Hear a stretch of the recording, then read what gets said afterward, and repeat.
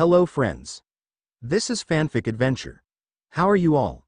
So in this video, we will see. What if Naruto had powerful bloodline of Percy Jackson and had all god power?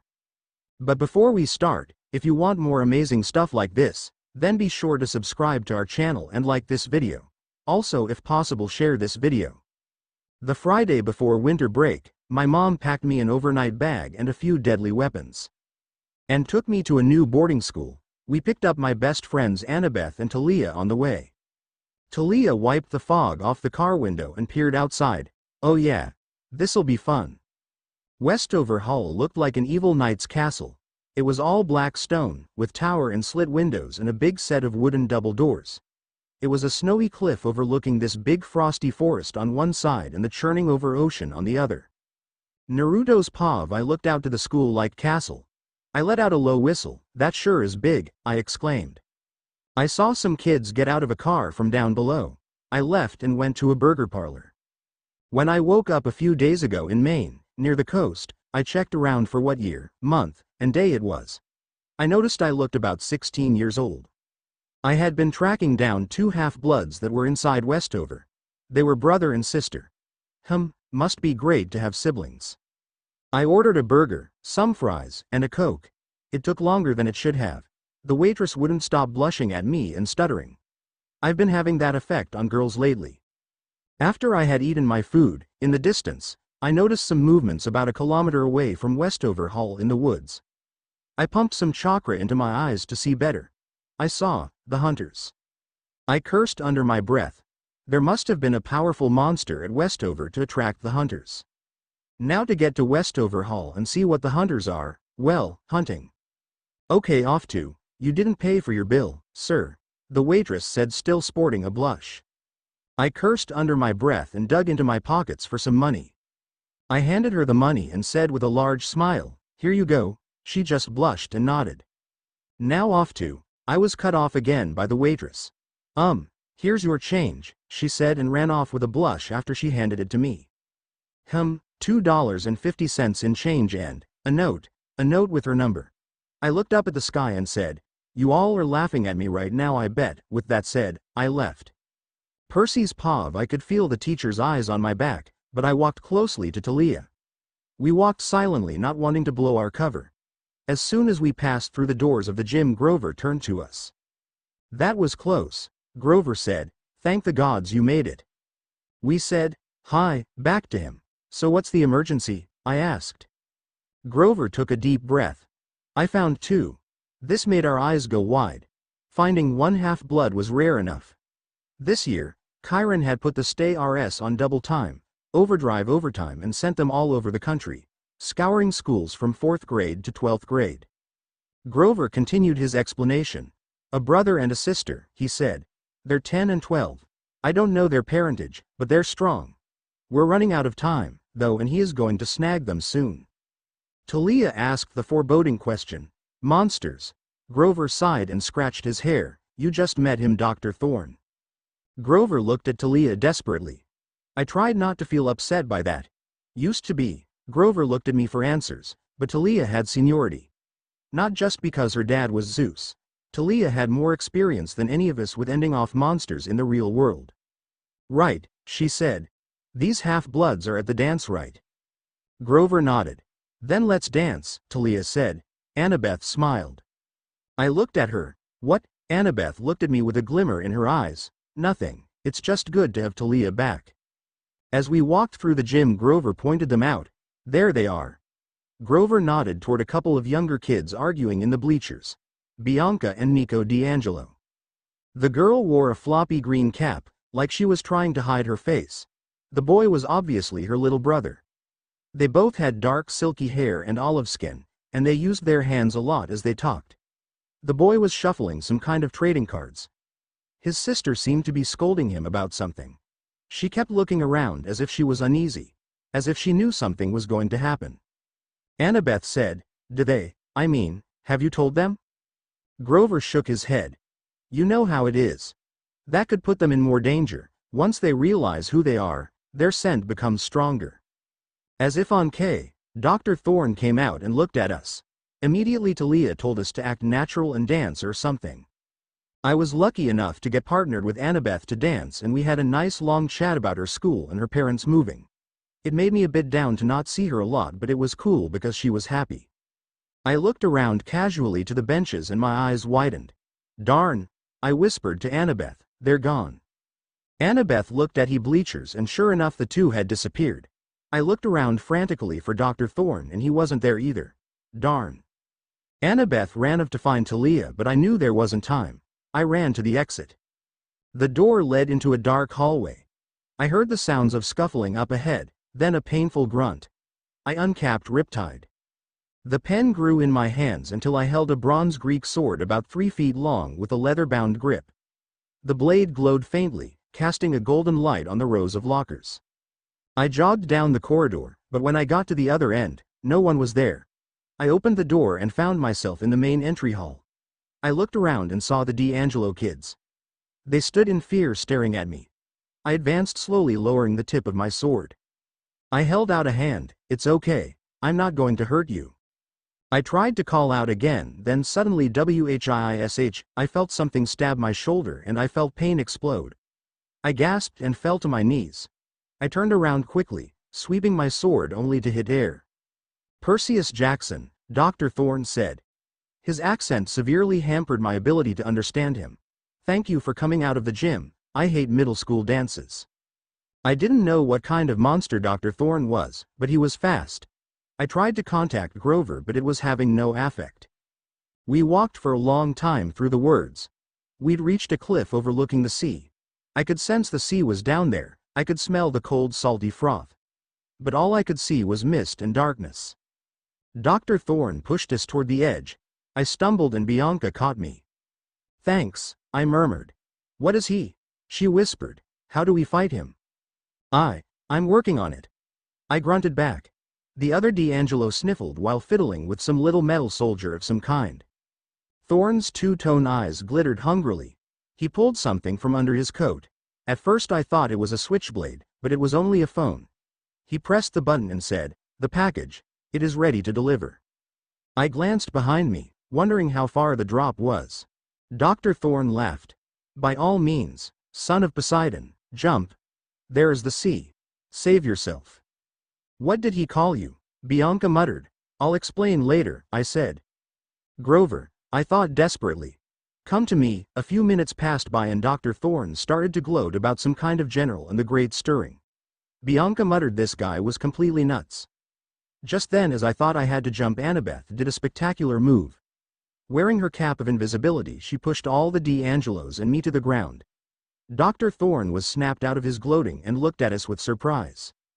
Thorne sent a volley of missiles and because of my quick thinking I was able to take out my shield which Tyson, my Cyclops brother, made for me. It blocked most of the thorns but it made my left hand go numb. The shield however was in far worse condition. It was dented everywhere and wouldn't hold up another attack. Talia then decided it was a good idea to join the fight. Talia wielding her magic shield Aegis charged at Dr. Thorne. Dr. Thorne roared and began to change. He grew larger until he was in his true form. His face was still human, but his body that of a huge lion. His leathery, spiky tail whipped deadly thorns in all directions. A manticore, Annabeth said, now visible. Her magical New York Yankees cap had come off when she'd plowed into us. Who are you people? Bianca di Angelo demanded. I just yelled back trying to get up, later, fight now. I rolled to the left to dodge a volley of thorns and Annabeth pushed the di Angelos down. Talia was handling her own moving quickly but I knew it wasn't enough. Thorn sent another volley of his spikes at us and all of a sudden silvery arrows shot to intercept them each, perfectly. No one, not even Apollo's kids at camp, could shoot with that much accuracy. The manticore growled as he heard the call of the horn, a hunting horn. Then archers came out from the woods. They were girls, about a dozen of them. The youngest was maybe 10. The oldest, about 14, like me. They wore silvery ski parkas and jeans, and they were all armed with bows. They advanced on the manticore with determined expressions. The hunters. Annabeth cried. Next to me, Talia muttered, oh, wonderful. I didn't have a chance to ask what she meant. One of the older archers stepped forward with her bow drawn. She was tall and graceful with coppery-colored skin. Unlike the other girls, she had a silver circlet braided into the top of her long dark hair, so she looked like some kind of Persian princess. Permission to kill my lady? I couldn't tell who she was talking to, because she kept her eyes on the manticore. The monster wailed. This is not fair. Direct interference. It is against the ancient laws. Not so, another girl said. This one was a little younger than me maybe 12 or 13. She had auburn hair gathered back in a ponytail and strange eyes, silvery yellow like the moon. Her face was so beautiful it made me catch my breath. But her expression was stern and dangerous. The hunting of all wild beasts is within my sphere. And you, foul creature, are a wild beast. Permission granted Zoe. The manticore growled. If I cannot have these alive, I shall have them dead. The manticore lunged at me then we heard a shout. Dynamic entry. The manticore stopped dead in its tracks. We all looked around from where the voice came from, including the hunters. A guy wearing an Abercrombie and Fitch jacket with his hood on, blue jeans, and black converses came up from above and did some kind of kick to the manticore that sent it flying off the cliff. The hunters looked a little annoyed that someone had just taken their kill, but it's understandable. He waved to the hunters and said, Nice to see you girls again. The hunters must have somehow recognized him, because, as soon as he spoke, they didn't seem as mad. Some of them just nodded their heads to him. A good majority waved back to him with a smile on their faces, this included the girl named Zoe and the red-haired girl. He turned and walked towards us. Annabeth, Talia, Grover, and me. Hey, Grover, Annabeth, and Talia, it has been a while, he shouted at the three of them. I felt kind of mad that he left me out, but apparently he knew the three. Who are you? Do we know you? Talia asked while Annabeth and Grover nodded. The guy laughed. Don't you remember? Oh, I better take off this hood so you can see me better. The guy took off his hood revealing a guy with spiky blonde hair with two locks of hair on either side of his face. He also has three faint whisker marks on each sides of his face. He had blue eyes and a large smile on his face. Grover, Talia, and Annabeth all gasped when they saw who he was. He smirked when he saw the astonished looks on their faces. Well, do you remember who I am, or what? I looked over to Talia, Grover, and Annabeth and they looked like they were about to cry. The guy walked over to Annabeth. He was about six feet zero and he towered over Annabeth. She jumped up into his arms and gave him a hug while crying silently. After a while she let go and he gave her a heartwarming smile and went to Grover. He stopped in front of Grover, who, at this point, had a big smile on his face and looked like he found a long-lost puppy. The guy gave Grover a one-armed guy hug and patted Grover on the back. Grover winced a bit from the pats, because the guy looked pretty strong and was a lot taller than Grover. The guy pulled away from the hug and patted Grover a few more times on the shoulder then went to Talia. When he got to Talia, I noticed she was looking down at the ground while her shoulder was shaking. She looked like she was sobbing. When the guy stopped walking, he was about arm's length away from her. Talia, he said softly. She looked up and her eyes were red from crying. She said one thing before jumping into his arms, Naruto.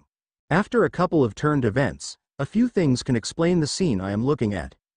I see Percy being led to my mother's, Artemis, tent by Zoe, Grover and Annabeth being asked questions by Nico, the hunters in their tents that they made in a matter of minutes, and Talia pacing in the snow. I pondered on what I should do. I could go to my mom's tent, but then I'd most likely have to listen to my mother talk about young maidens, and about them going astray, and I am not going to listen to that. I could also go to Grover and Annabeth and help them with Nico, but then I would have to answer lots of questions.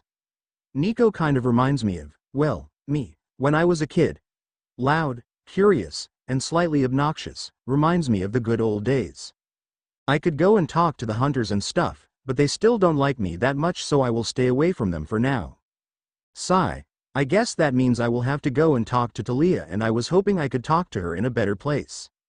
I walked over to Talia, who was still pacing around, and I had to admit to myself that I was sort of scared. I have defeated more monsters than I could count, and I can count pretty high. But you know the old saying, Hell hath no fury like a woman scorned. I cursed lightly to myself when I noticed I was well in speaking range of Talia. And I didn't think of anything to say, uh, hey, Talia. I say meekly. Yeah, what is it Naruto? Talia asked, apparently a bit ticked off. Well, what has gotten you so mad?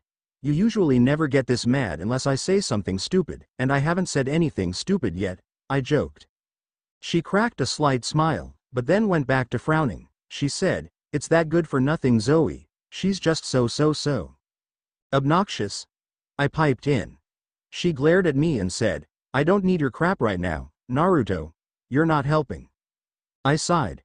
Look, Talia, I know it's hard to get along with Zoe, but with her past and all, well, you can't really blame her reasoning? She glared at me some more, so, are you saying you agree with her? Uh, no, no, it's not like that it's, just, well, you know, I said. Just stop, Naruto. I know you're trying to help, but you're really bad at it. Talia said, clearly annoyed. Uh, I'll just be leaving now, so I don't say something that I will definitely regret later, I said. Just as I finished talking, Percy came out of my mother's tent. Talia, Grover, and Annabeth huddled around Percy. Most likely they were very anxious to hear what had happened in his audience with the goddess. I sighed in relief that Percy had got finished talking to my mother. I definitely was feeling quite awkward talking to Talia. I haven't seen her in such a long time and I just couldn't figure out what to say or do to comfort her. I walked towards my mother as she stares out to the east, no doubt waiting for her brother and my uncle. Hey, Mom. I greeted her. Hello, Naruto. She greeted back with a nod. I took on a serious face. Do you know what monster the manticore was talking about? She also got more serious and turned to face me. She stared up at me because since she was in her 12-year-old body, and I was a lot taller than she was. Yes, I have, and I must hunt the monster before it is too late, she said. You're not taking the hunters? I asked, slightly surprised she wouldn't be taking the hunters. No, I must hunt this monster alone, she answered. But wouldn't the saying, strength in numbers apply here nicely? I asked, hoping she would agree with me. She laughed lightly and shook her head. No, Naruto, this monster is far, far too dangerous for the hunters, she said. Then take me with you. You know just how powerful I am. I could help you with just about any monster. I rebutted. I haven't used a big word like rebutted in a long time. She was about to say something but hesitated.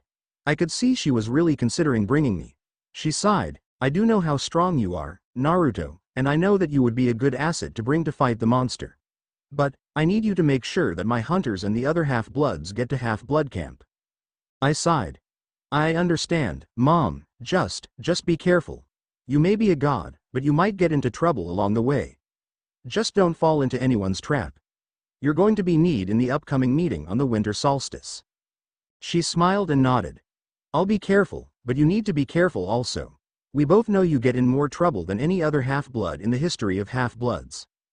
We both shared a good laugh. I will. I replied. We both stood there in a comfortable silence, I then felt someone hug me around the upper part of my abdomen. I looked down to see my mother giving me an awkward hug. I smiled and returned it. We hugged in silence briefly before both letting go. We both turned to the east and waited for dawn. I glance at my mother out of the corner of my eye and smile a bit. She was a really great mom sometimes. Percy's POV finally the sky began to lighten. Artemis muttered, about time. He's so oh, lazy during the winter. You're, um, waiting for sunrise? I asked. For my brother, yes.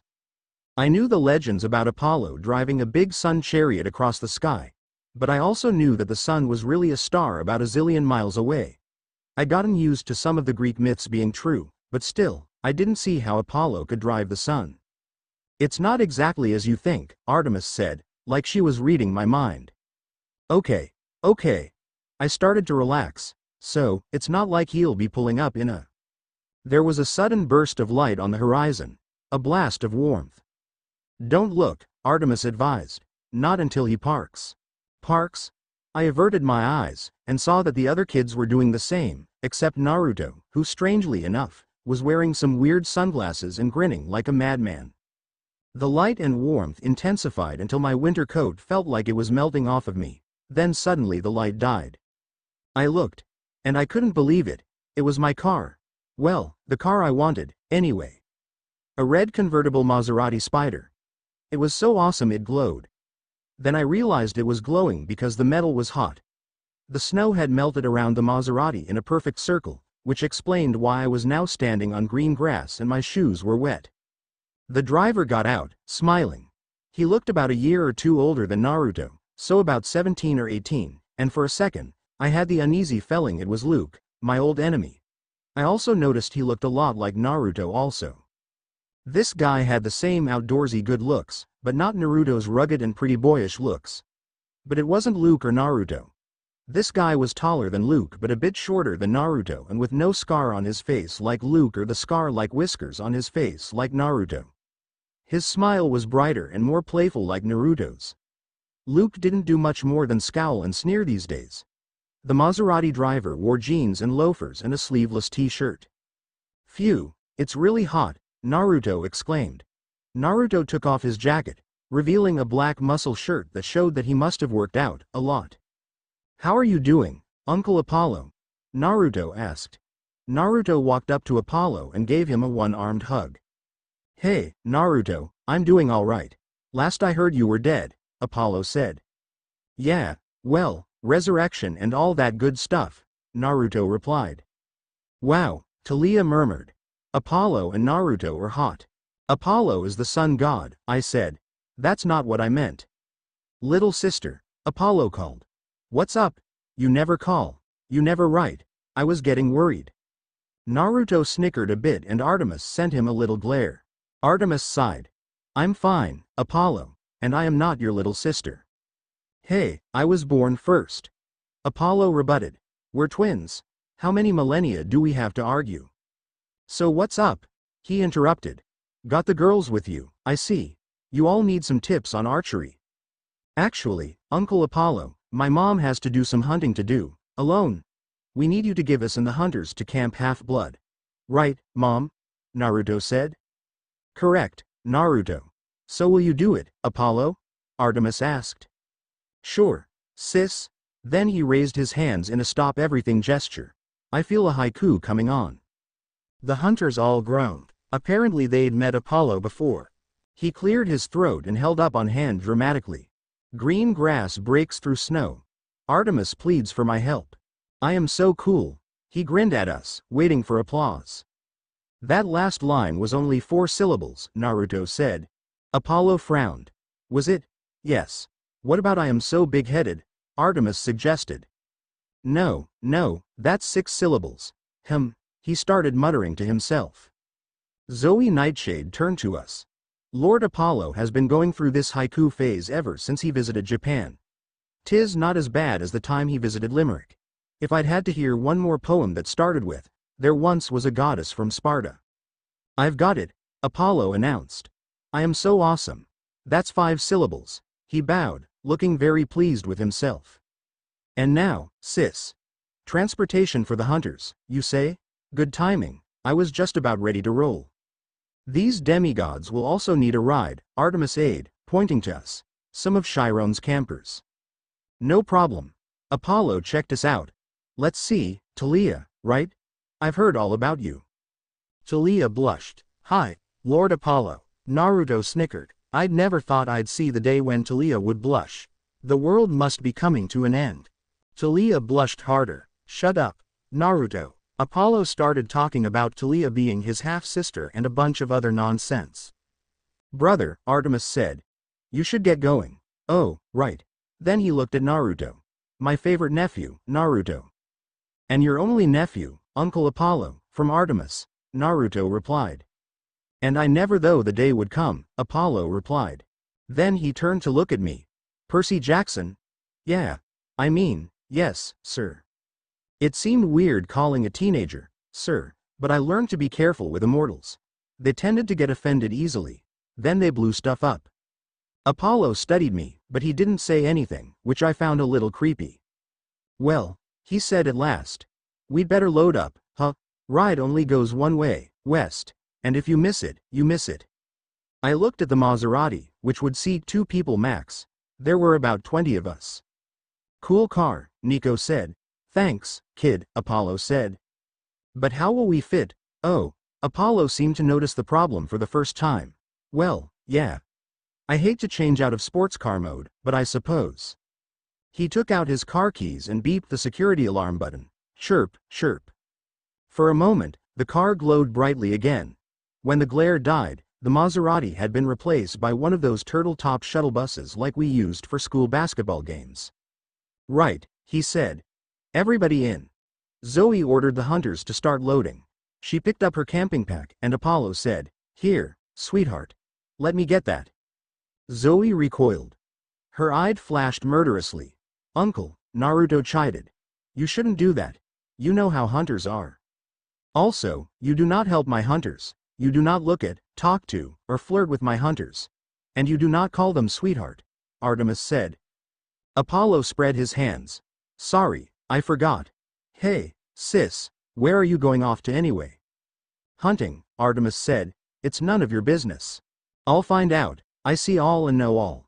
Artemis snorted, just drop them off, Apollo, and no messing around. No, no, I never mess around. Artemis rolled her eyes, and then looked at us. I will see you by the winter solstice, Zoe, you are in charge of the hunters. Do well, do as I would do. Zoe straightened. Yes, my lady. Artemis knelt and touched the ground as if looking for tracks. When she rose, she looked troubled. So much danger. The beast must be found. She sprinted toward the woods and melted into the snow and shadows. Apollo turned and grinned jangling the car keys on his finger. So, he said, who wants to drive? The hunters piled into the van. They all crammed onto the back so they'd be as far away as possible from Apollo and the rest of us highly infectious males. They don't really hate me, considering I am Artemis' son.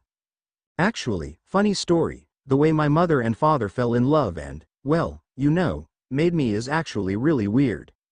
My mother got an assignment from Zeus to investigate the elemental countries, so she went under the disguise as Kushina Uzumaki.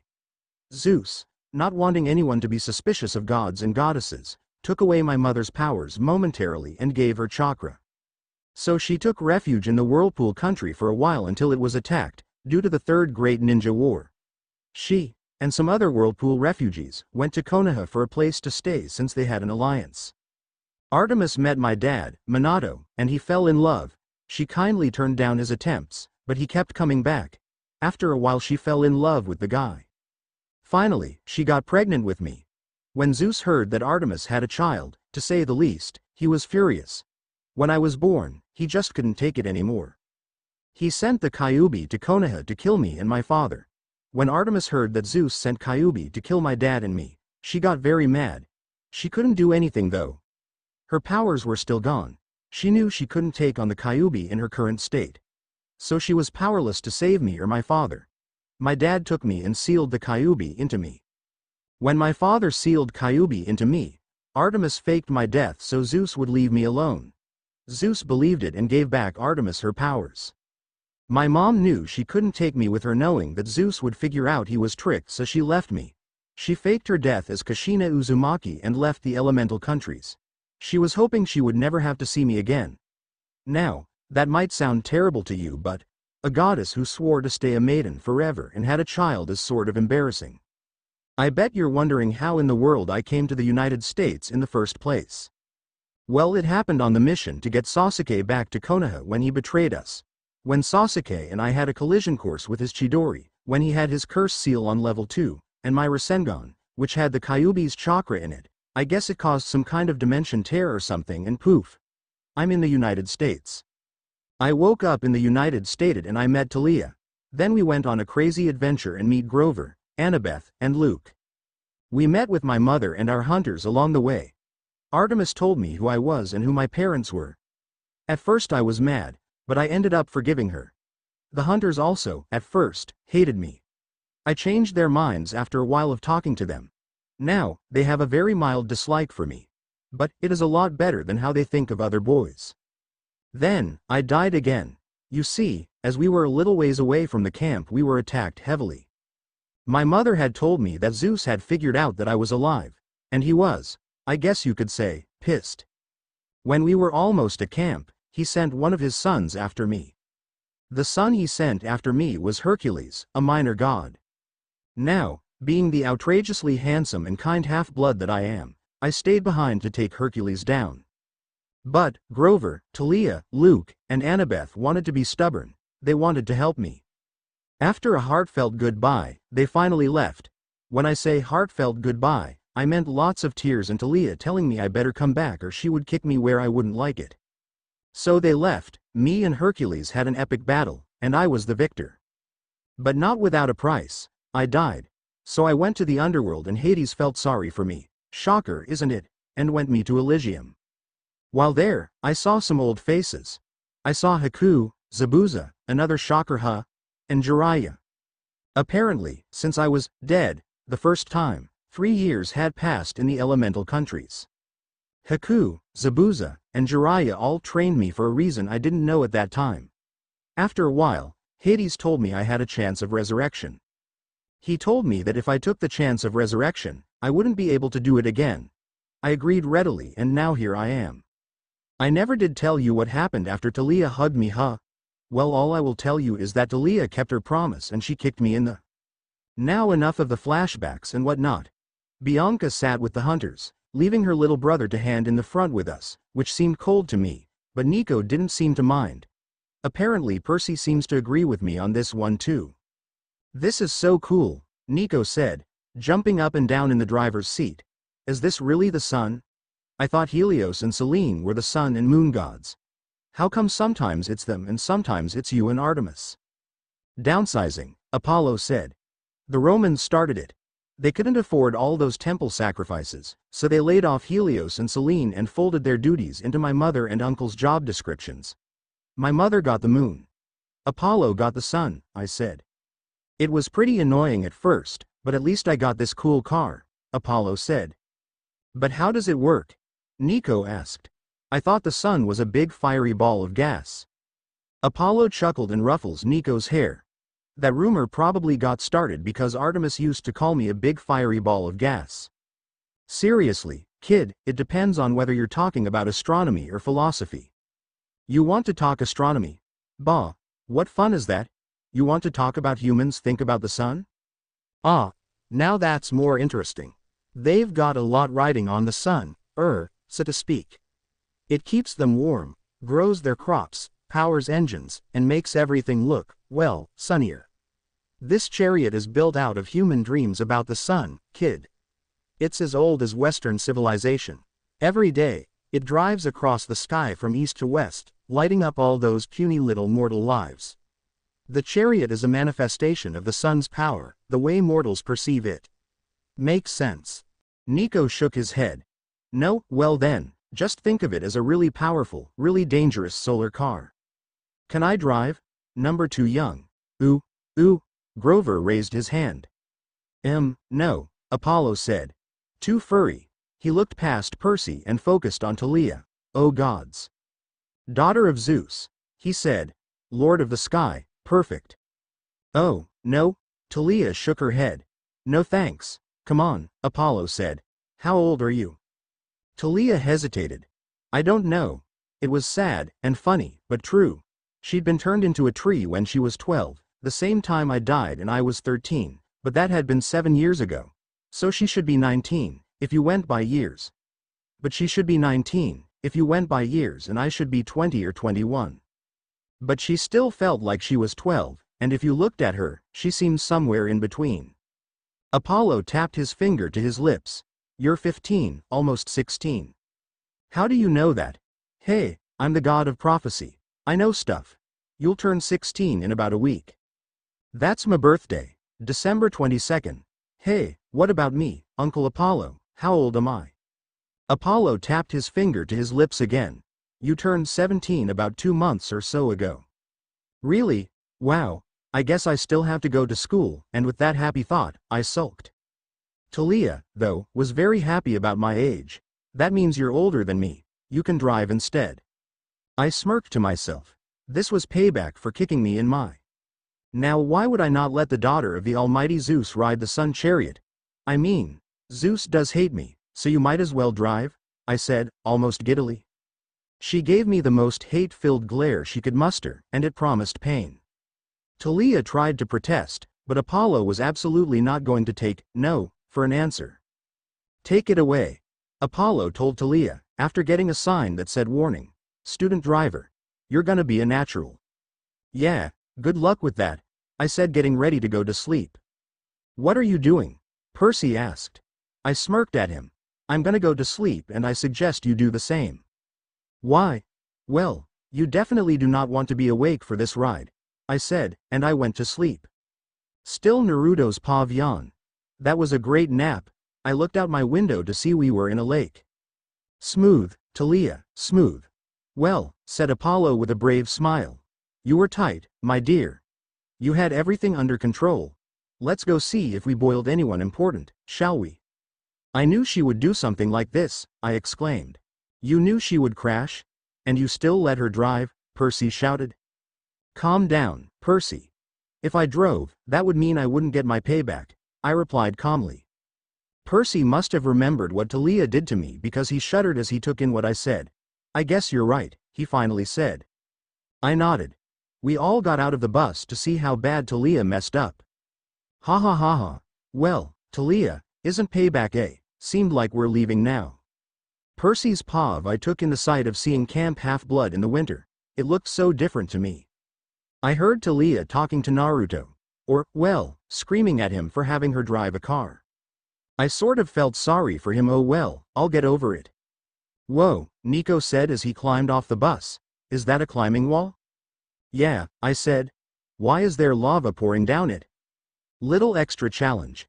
Come one. I'll introduce you to Chiron. Zoe, have you met? I know Chiron, Zoe said stiffly. Tell him we will be in cabin 8. Hunters, follow me. Grover was about to say something, but Naruto stopped him and whispered something into his ear. Grover seemed a bit sad at first but then smiled and nodded and left after the hunters. As Bianca di Angelo was leaving, she leaned over and whispered something in her brother's ear. She looked at him for an answer, but Nico just scowled and turned away. Apollo said his goodbyes to us, which consisted with flirting with the hunters and giving me a warning. Nico was still looking grumpy. I wondered what his sister had told him. Who's Chiron? He asked. I don't have his figurine. Our activities director, I said. He's, well, you'll see. If those hunter girls don't like him, Nico grumbled, that's good enough for me. Let's go. Ouch, harsh. Naruto piped in. Quiet, Naruto.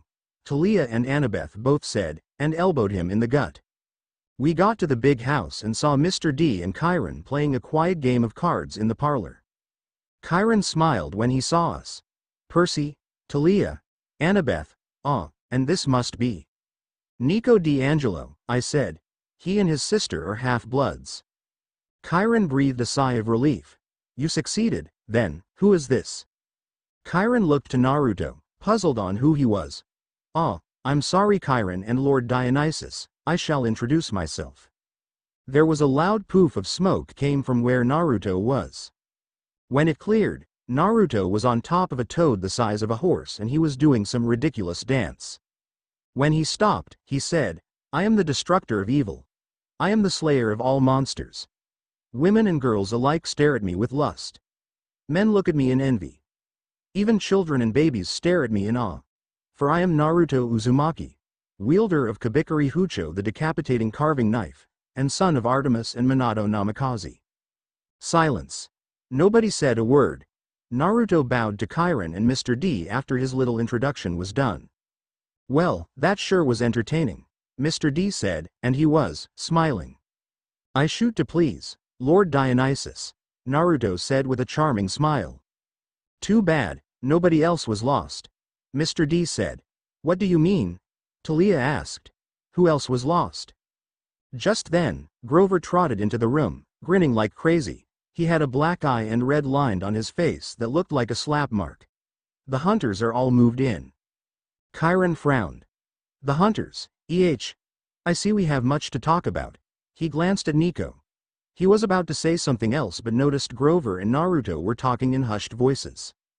So, Grover, did you do what I said? Naruto whispered. Yes. Grover said, grinning wider. How do you think I got these? He said pointing at his face. Was it worth it? Naruto asked. Grover only nodded, he had a thin line of blood coming out of his nose. He must have been thinking perverted thoughts. Naruto and Grover started giggling perversely. Oh, Grover, it is so good that you have decided to follow in my footsteps, I will teach you all I know, Naruto said, with a perverse grin on his face. Talia and Annabeth must have noticed what they were talking about because they looked mad. Chiron, sensing their impending doom, chose to save one of them. Grover, perhaps you should take our young friend to the den and show him our orientation film. Okay. Grover all but shouted. Grover grabbed Nico and pulled him into the den to watch the movie. Naruto, noticing how mad Talia and Annabeth were, shouted out to Grover, No, Grover, take me with you, don't leave me here. Now, Naruto, what did you have Grover do? Talia asked in a deadly sweet tone. If you tell the truth, we promise to make it hurt for a shorter amount of time, Annabeth said in a sweet tone. Naruto looked to me for help.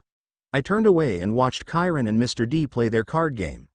Apparently neither of them wanted to face the two girls' wrath either. Annabeth and Talia pulled a crying Naruto out of the room. We could hear the screams and shouts of pain. Mr. D, Chiron, and I all winced when we heard the screams and shouts. Sorry, Naruto. You know what they say, karma is a. The screams stopped. Talia and Annabeth came back in the room with satisfied grins. I was going to ask what happened to Naruto, but I decided against it. Now, Chiron said to Talia, Annabeth, and me, perhaps you three should sit down and tell us the whole story. When we were done, Chiron smiled and said, it's a good thing nobody was hurt. Chiron turned to Mr. D expecting he would say the same. It's good to know that nobody was hurt.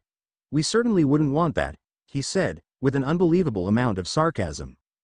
We are happy to know that Annie Bell wasn't lost. Annabeth, I snapped. She'd gone to camp since she was seven, and still Mr. D pretended not to know her name. Yes, yes, he said, offhandedly. It's like he doesn't care about anyone in this camp. I wanted to strangle Mr. D. It wasn't fair Zeus had sent him here to dry out as a camp director for a hundred years. It was meant to be a punishment for Mr. D's bad behavior on Olympus, but it ended up being a punishment for all of us. I got up from the table. Percy. Chiron and Annabeth both said, their tone was full of warning. In the back of my mind, I knew Mr. D was not somebody to mess with. Even if you were an impulsive ADHD kid like me, he wouldn't give you any slack. But I was so angry I didn't care. You'd be glad to lose a camper, I said. You'd like it if we all disappeared. Mr. D stifled a yawn. You have a point. Yeah, I growled. Just because you were sent here as a punishment doesn't mean you have to be a lazy jerk. This is your civilization, too. Maybe you could try helping us out a little. For a second, there was no sound except the crackle of the fire and Naruto's pained groans from outside. The light reflected in Mr. D's eye, giving him a sinister look. He opened his mouth to say something. Probably a curse that would blast me to smithereens. When Nico burst into the room, followed by Grover. So cool. Nico yelled, holding his hands out to Chiron. You're, you're a centaur. Chiron gave a nervous smile. Yes, Mr. di Angelo, if you please. Though, I prefer to stay in human form in this wheelchair for, ah, first encounters. And, whoa. He looked at Mr. D, you're the wind dude? No way. Mr. D turned his eye away from me and gave Nico a look of loathing. The wine dud? Dionysus, right? Oh, wow, I've got your figurine. My figurine. In my game, Mythomagic. And a holofoil card, too. And even though you've only got like 500 attack points and everybody thinks you're the lamest god card, I totally think your powers are sweet. I agree. I would love to be able to make wine at any point of time, or be able to use things that associate with wine, Naruto said, popping out of nowhere. Ah. Mr. D seemed truly perplexed, which probably saved my life. Well that's gratifying. Percy, Chiron said quickly, you, Talia, Annabeth, and, ah, Naruto go down to the cabins. Inform the campers we'll be playing Capture the Flag tomorrow evening. Capture the flag? I asked, but we don't have enough. It is a tradition, Chiron said. A friendly match whenever the hunters visit. Yeah, Talia muttered. I bet it's real friendly. Naruto smiled at her reassuringly and put a hand on her shoulder. Chiron jerked his head toward Mr. D, who was still frowning as Nico talked about how many defense points all the gods had in his game. Run along now, Chiron told us. Oh, right, Talia said. Come on, Percy. Annabeth said. They both hauled me out of the big house before Dionysus could remember that he wanted to kill me. Still Percy's POV. You've already got Ares on your bad side, Annabeth reminded me as we all trudged toward the cabins. You need another immortal enemy? She was right. My first summer as a camper, I'd gotten in a fight with Ares, and now he and all his children wanted to kill me. I didn't need to make Dionysus mad, too. Sorry, I said. I couldn't help it, it's just so unfair. Talia stopped by the armory and looked out across the valley, toward the top of Half-Blood Hill. Her pine tree was still there, the golden fleece glittering in its lowest branch. The tree's magic still protected the borders of camp, but it no longer used Talia's spirit for power. Percy, everything is unfair, Talia muttered. Sometimes I wish.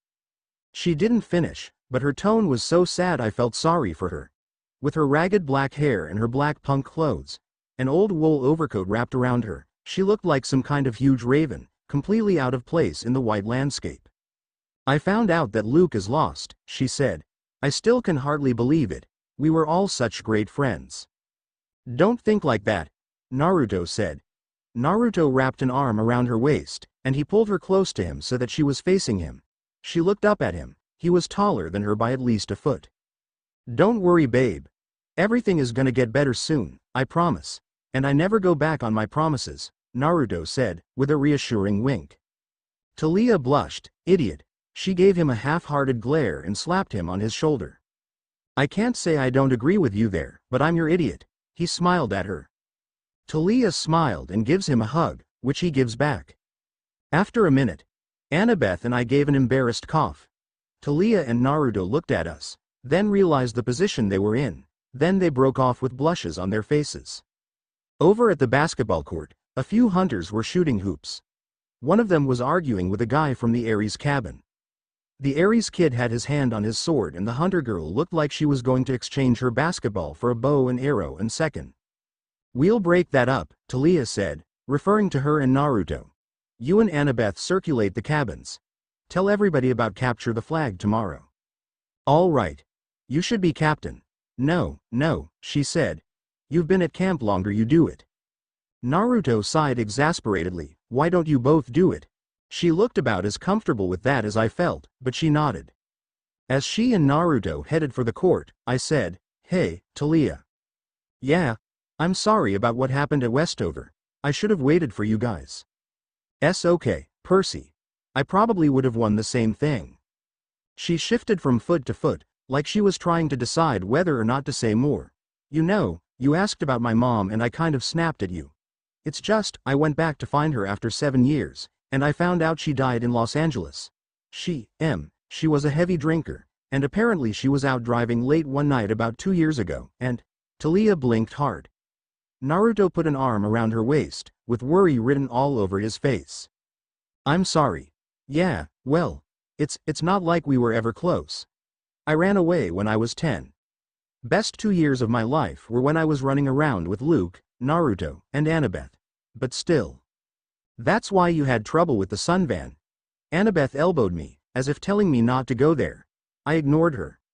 She gave me a confused look. What do you mean? Naruto started backing away slowly. It was as if he knew something that I didn't. The way you stiffened up. You must have been thinking about your mom, not wanting to get behind the wheel. I was sorry I said anything. Talia's expression was dangerously close to Zeus's, the one time I'd seen him angry, like any minute, her eyes would shoot a million volts. Yeah, she muttered. Yeah, that must have been it. She trudged off toward the court, where the Ares camper and the hunter were trying to kill each other with a sword and basketball. Don't worry, Percy. Naruto said. He looked at me with a reassuring smile. She's just a little upset, it's nothing I can't fix. Naruto then went off, trying to catch up with Talia. Naruto's POV wow. Talia is pretty upset, after we had broken up the Ares kid and Hunter from their fight, and by broken up I mean she yelled at them and released a heavy amount of killing intent, she stormed off to her cabin. Ah, yes. I remember teaching her killing intent, worst idea I ever had. Although, if I didn't, I would have gotten hurt. It was mostly a bad idea because she is a daughter of Zeus. And killing intent, along with a child of one of the big three, is a seriously bad thing. But in my defense, I didn't know back then, Anyways, I ran after her. Talia, wait up. What, Naruto? She asked angrily, still emitting killing intent in waves. You have to calm down, I said. I don't need to calm down, she shouted at me. She stormed off again to her cabin and went inside. I went after her and grabbed her wrist to make her stop. She tried getting free but I had an iron-like grip. Let go of me, Naruto. She gritted out angrily. No, not until you calm down, I said calmly. I am calm, she said. I knew she was lying. No, you aren't.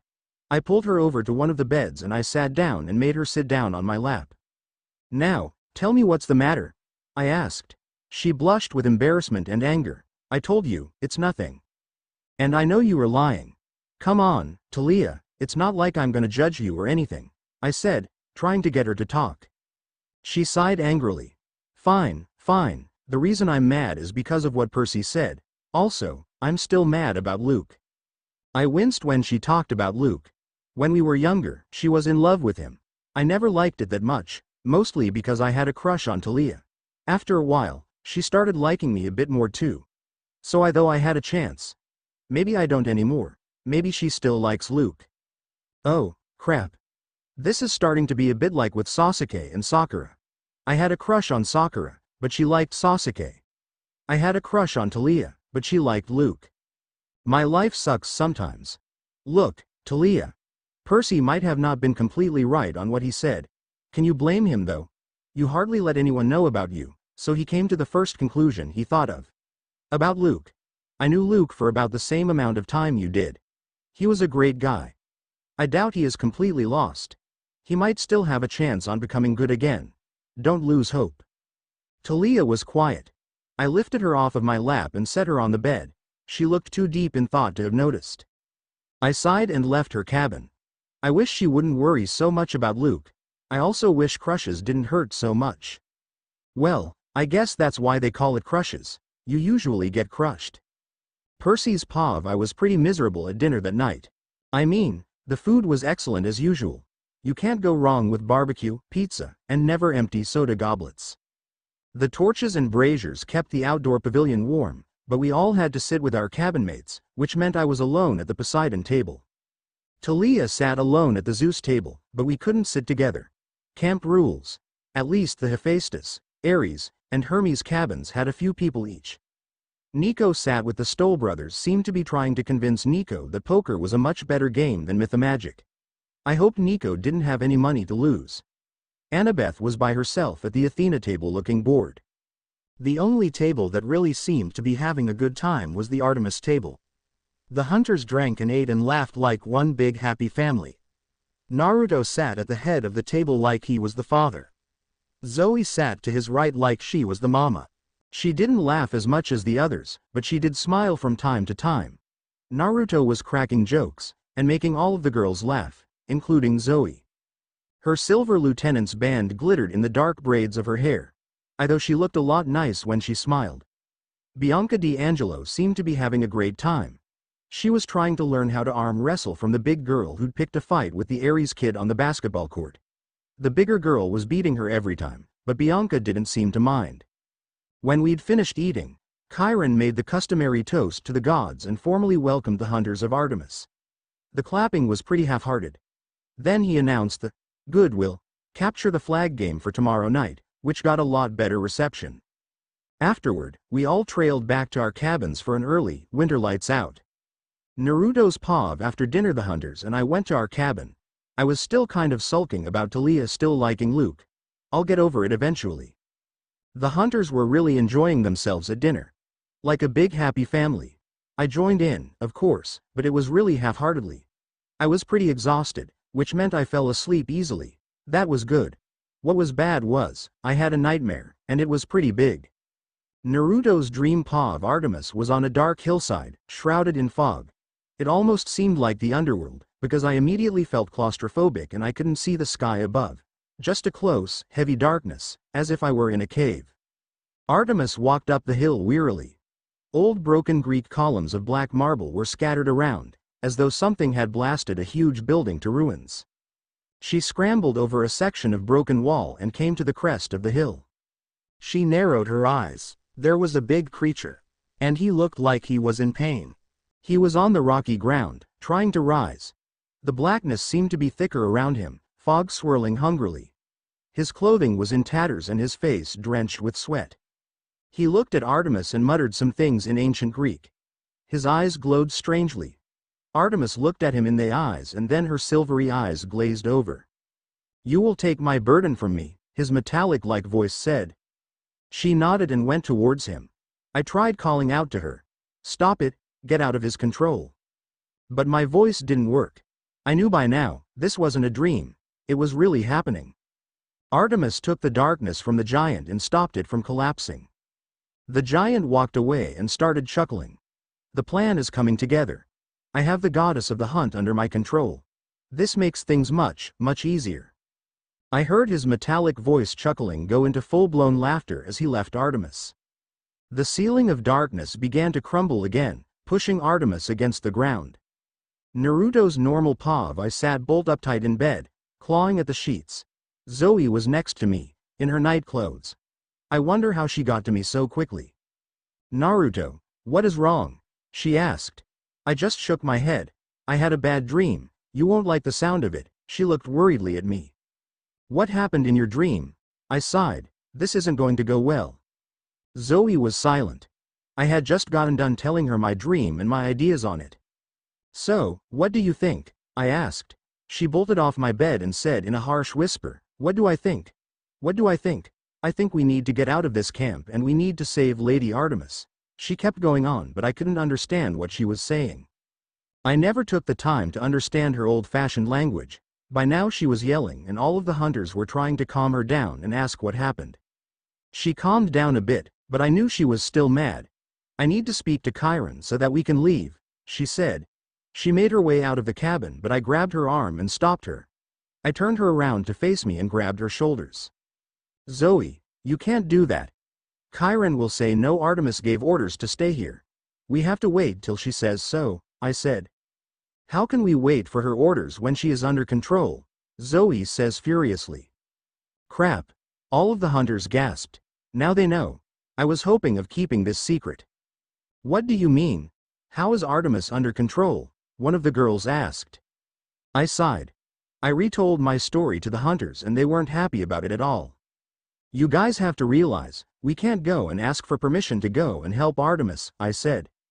How can you not want to help Lady Artemis, Naruto? She is your mother, Zoe said. That hurt. I want to help her. More than anything in the world, I want to help my mom. But I can't. I can't, and won't, go against my mother's wishes. You know I want to save her, she gave us orders, we can't go against them, I shouted. Zoe sighed. I guess we have no choice. She nodded at someone behind me. I turned to look at them but I felt hit my neck. Then all I saw was black. Percy's POV the next morning after breakfast, I told Grover about my dream. I had a dream about Annabeth being controlled by something. We sat in the meadow watching the satyrs chase the wood nymphs through the snow. The nymphs had promised to kiss the satyrs if they got caught, but they hardly did. Usually the nymph would let the satyr get up a full head of steam, then she'd turn into a snow-covered tree and the poor satyr would slam into it headfirst and get a pile of snow dumped on him. When I told Grover my nightmare, he started twirling his finger on his shaggy leg fur. A cave ceiling collapsed on her. He asked, Yeah, what the heck does that mean? Grover shook his head. I don't know, but after what Naruto dreamed. Whoa. What do you mean? Naruto had a dream like that. I, I don't know exactly. About three in the morning Zoe came to the big house and demanded to talk to Chiron. She looked really panicked. Wait, how do you know this? Grover blushed. I was sort of camped outside the Artemis cabin. What for? Just to be, you know, near them. Well, well, well. You're a stalker with hooves, Grover. A voice said from behind us. We turned around and saw Naruto standing there with a smirk. Grover blushed even harder. I am not. I followed her to the big house and hid in a bush and watched the whole thing. She got real upset when Argus wouldn't let her in. It was a kind of dangerous scene. What did she say? I asked. Naruto seemed to already know the story because he seemed uninterested. Though for some reason I felt like he was still listening to us. Grover grimaced. Well, she starts talking really old-fashioned when she gets upset, so it was kind of hard to understand, but something about Artemis being in trouble and need the hunters. And then she called Argus a boiled-brained lout. I think that's a bad thing. And that he called her. Whoa, wait. How could Artemis be in trouble? Just because she is a god, doesn't mean they're the strongest things. Naruto said off-handedly. I. Well, finally Chiron came out in his pajamas and his horsetail in curlers. He wears curler in his tail. Silence already, stop interrupting, Naruto said, annoyed. Sorry, I said. Go on. Well, Zoe said she needed permission to leave camp immediately. Chiron refused. He reminded Zoe that the hunters were supposed to stay her until they received orders from Artemis, and she said, Grover gulped. Naruto stopped Grover from saying any more. She said, how are we to get orders from Artemis if Artemis isn't Artemis anymore? What do you mean she isn't herself anymore? Like she has amnesia. Gods you're a moron. Isn't herself anymore as in controlled. Taken over. Hostage. Controlled? I tried to get my mind around that idea. How would you control an immortal goddess? Is that even possible? Yes. Otherwise it wouldn't have happened, Naruto said. Who could kidnap her, and why? I asked. I don't know, but someone, or something, very powerful, Naruto replied. I started thinking about Naruto's nightmare, which he had only a few hours after mine. Naruto about your dream, I started off, um, before you guys do, Grover took something out of his coat pocket. It was a three-fold display like a travel brochure. You remember what you said, about how it was weird the hunters just happened to show up at Westover Hall. I think they might have been scouting us. Scouting us? What do you mean? He gave me the brochure. It was basically to convince girls to join them, nothing special. I found that in Annabeth's backpack, Grover said. You checked her backpack? Speaking of Annabeth, where is she? Naruto asked. Grover and I shrugged. Naruto sighed and went off to find her. I don't understand. Well, it seems to me, maybe Annabeth was thinking about joining. Naruto came running back with a worried etched all over his face. Percy, Grover, Annabeth is gone. It looks like she was kidnapped, Naruto said. Percy's POV I'd like to say that I took the news well. The truth was, I wanted to strangle the hunters of Artemis one eternal maiden at a time. I also wanted to go out and search for Annabeth. Naruto made me and Grover promise not to talk about it. He said he would talk to Chiron and Mr. D about it. Not like they'd allow us to do anything. He also said he would tell the hunters and Talia about it also. The rest of the day I tried to keep busy, but I was worried sick about Annabeth. I went to javelin throwing class, but the Ares campers in charge chewed me out after I got distracted and threw the javelin at the target before he got out of the way. I apologized for the hole in his pants, but he still sent me packing. I visited the Pegasus stables, but Silena Beauregard from the Aphrodite cabin was having an argument with one of the hunters, and I decided I'd better not get involved. After that, I sat in the empty chariot stands and sulked. Down at the archery fields, Chiron was conducting target practice. I knew he'd be the best person to talk to. Maybe he could give me some advice, but something held me back. I had a feeling Chiron would try to protect me, like he always did. He might not tell me everything he knew. I looked the other direction. At the top of Half-Blood Hill, Mr. D and Argus were feeding the baby dragon that guarded the Golden Fleece. Then it occurred to me, no one would be in the big house. There was someone else, something else that I could ask for guidance. I ran past Talia and Naruto. Naruto was being not too subtle at flirting with Talia. Though she didn't pay him any mind, she must have thought he was only being nice to her when he was actually meaning everything he said. My blood was humming in my ears as I ran into the house and took the stairs. I'd only done this once before and I still had nightmares about it. I opened the trapdoor and stepped into the attic. The room was dark and dusty and cluttered with junk, just like I remembered. There were shields with monster bites out of them, and swords bent in the shapes of demon heads, and a bunch of taxidermy, like a stuffed harpy and a bright orange python. Over by the window, sitting on a three-legged stool, was the shriveled-up mummy of an old lady in a tie-dyed hippie dress, the Oracle. I made myself walk toward her. I waited for green mist to billow from the mummy's mouth, like it had done before, but nothing happened. Hi, I said. Uh, what's up? I winced at how stupid that sounded. Not much could be. Up. When you're dead and stuck in the attic. But I knew the spirit of the oracle was in there somewhere. I could feel a cold presence in the room, like a coiled sleeping snake. I have a question, I said a little louder. I need to know about Annabeth. How can I save her? No answer. The sun slanted through the dirty attic window, lighting the dust motes dancing in the air. I waited longer. Then I got angry, I was being ignored by a stupid corpse. All right, I said. Fine, I'll figure it out myself. I turned and bumped into a big table full of souvenirs. It seemed more cluttered than the last time I was here. Heroes stored all kinds of stuff in the attic. Quest trophies they no longer wanted to keep in their cabins, or stuff that held painful memories. I knew Luke had stored a dragon claw somewhere up here. The one that had scarred his face. There was a broken sword hilt labeled. This broke and Leroy got killed. 1999. Then I noticed a pink silk scarf with a label attached to it. I picked up the tag and tried to read it. Scarf of the Goddess Aphrodite recovered at Waterland, Denver, Colorado. By Annabeth Chase and Percy Jackson I stare at the scarf. I'd totally forgotten about it. Two years ago, Annabeth had ripped this scarf out of my hands and said something like, Oh, no no love magic for you. I'd just assumed she'd thrown it away, and yet here it was. She'd kept it all this time. And why had she stashed it in the attic? I turned to the mummy. She hadn't moved, but the shadows across her face made it look like she was smiling gruesomely. I dropped the scarf and tried not to run toward the exit. Percy's POV that night after dinner, I was seriously ready to bead the hunters at capture the flag. It was going to be a small game. Naruto and only 13 hunters, including Bianca di Angelo, and about the same number of campers. Zoe Nightshade looked pretty upset. She kept glancing resentfully at Chiron and Naruto, like she couldn't believe he was making her do this. The other hunters didn't look too happy either. Unlike last night, they weren't laughing or joking around. They just huddled together in the dining pavilion, whispering nervously to each other as they strapped on their armor. Some of them even looked like they'd been crying. I guess Naruto had told them about his nightmare. Naruto was by himself putting finishing touches to his own personal armor. He looked like a god.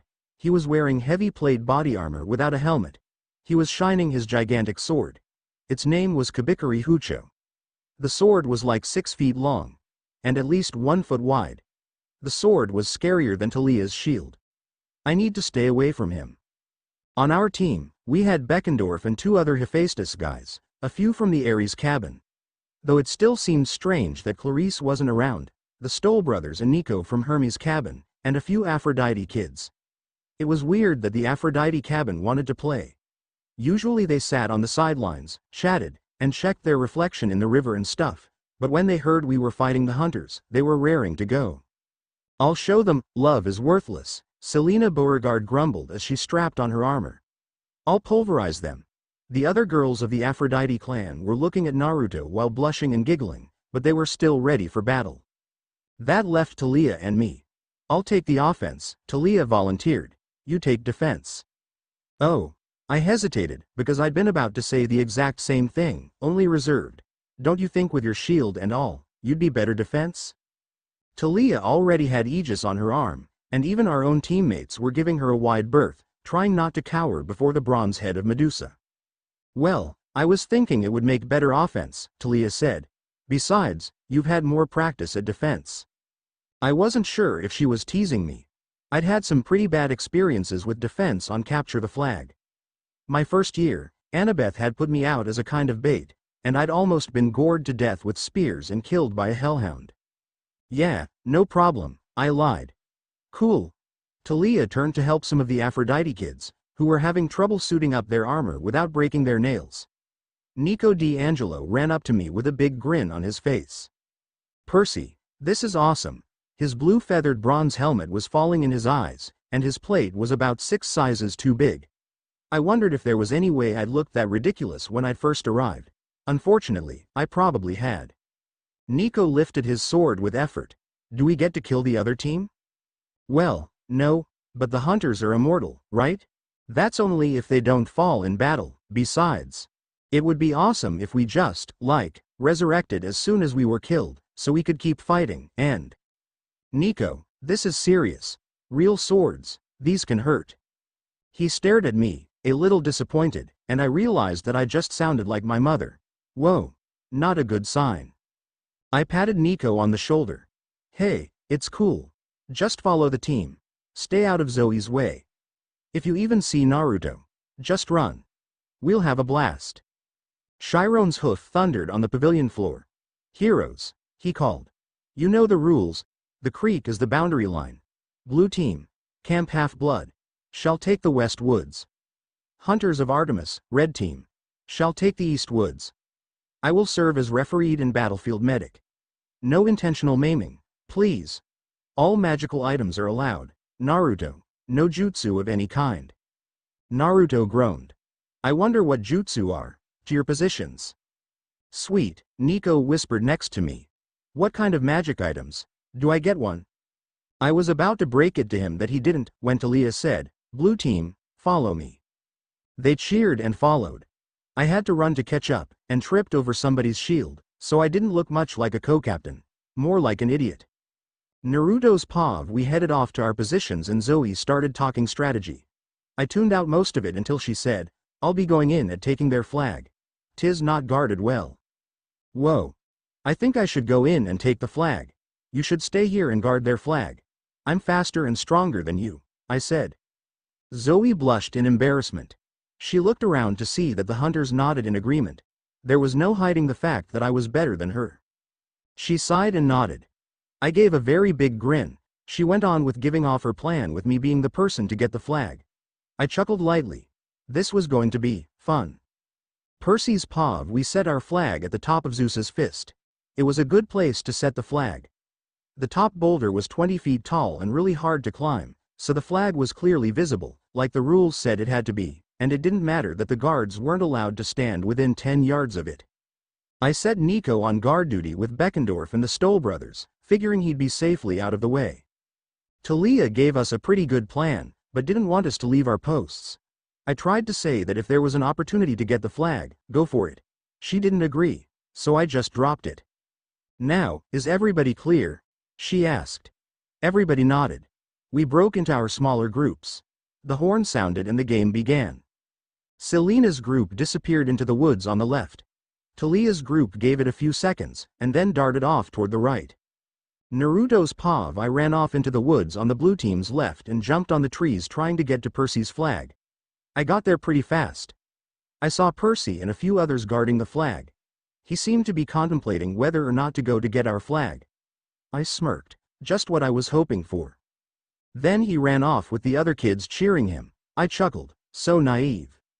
I jumped off the tree I was on and went over to their flag. They all gasped when they saw me. They were wondering whether they fight back or just give me the flag, they chose the first choice. Beckendorf was the first to come at me he swung horizontally at me. I blocked with my massive sword. It felt weightless in my hands, but in truth it was at least 60 pounds of pure celestial bronze. I whacked him in the head with the pommel of my sword then kicked him out of my way with a roundhouse kick. The Stoll brothers charged at me, shouting. One of them swung at me vertically and I sidestepped and punched him in the face, but not too hard. I raised my sword for an overhead strike and he brought his shield up. I slammed my sword into his shield with enough force to know him down. The Stoll brothers both came back up to fight me. I strapped the decapitating carving knife to my back. I grabbed the concealed tonfas that I sealed on my wrists. The beating commenced. After I finished up on the Stoll brothers, I jumped up to the rock with their flag and jumped back off. I started running toward the creek when I saw Percy running with our flag. He seemed to have noticed someone running behind me. I took a quick look and saw Beckendorf and Nico. He then noticed me and what was in my hand. He shouted, no, and ran faster. He was two feet from the river when I bolted to my side, and I slammed into Percy for the fun of it. The hunters cheered as both sides converged on the creek. Chiron appeared out of the woods, looking grim.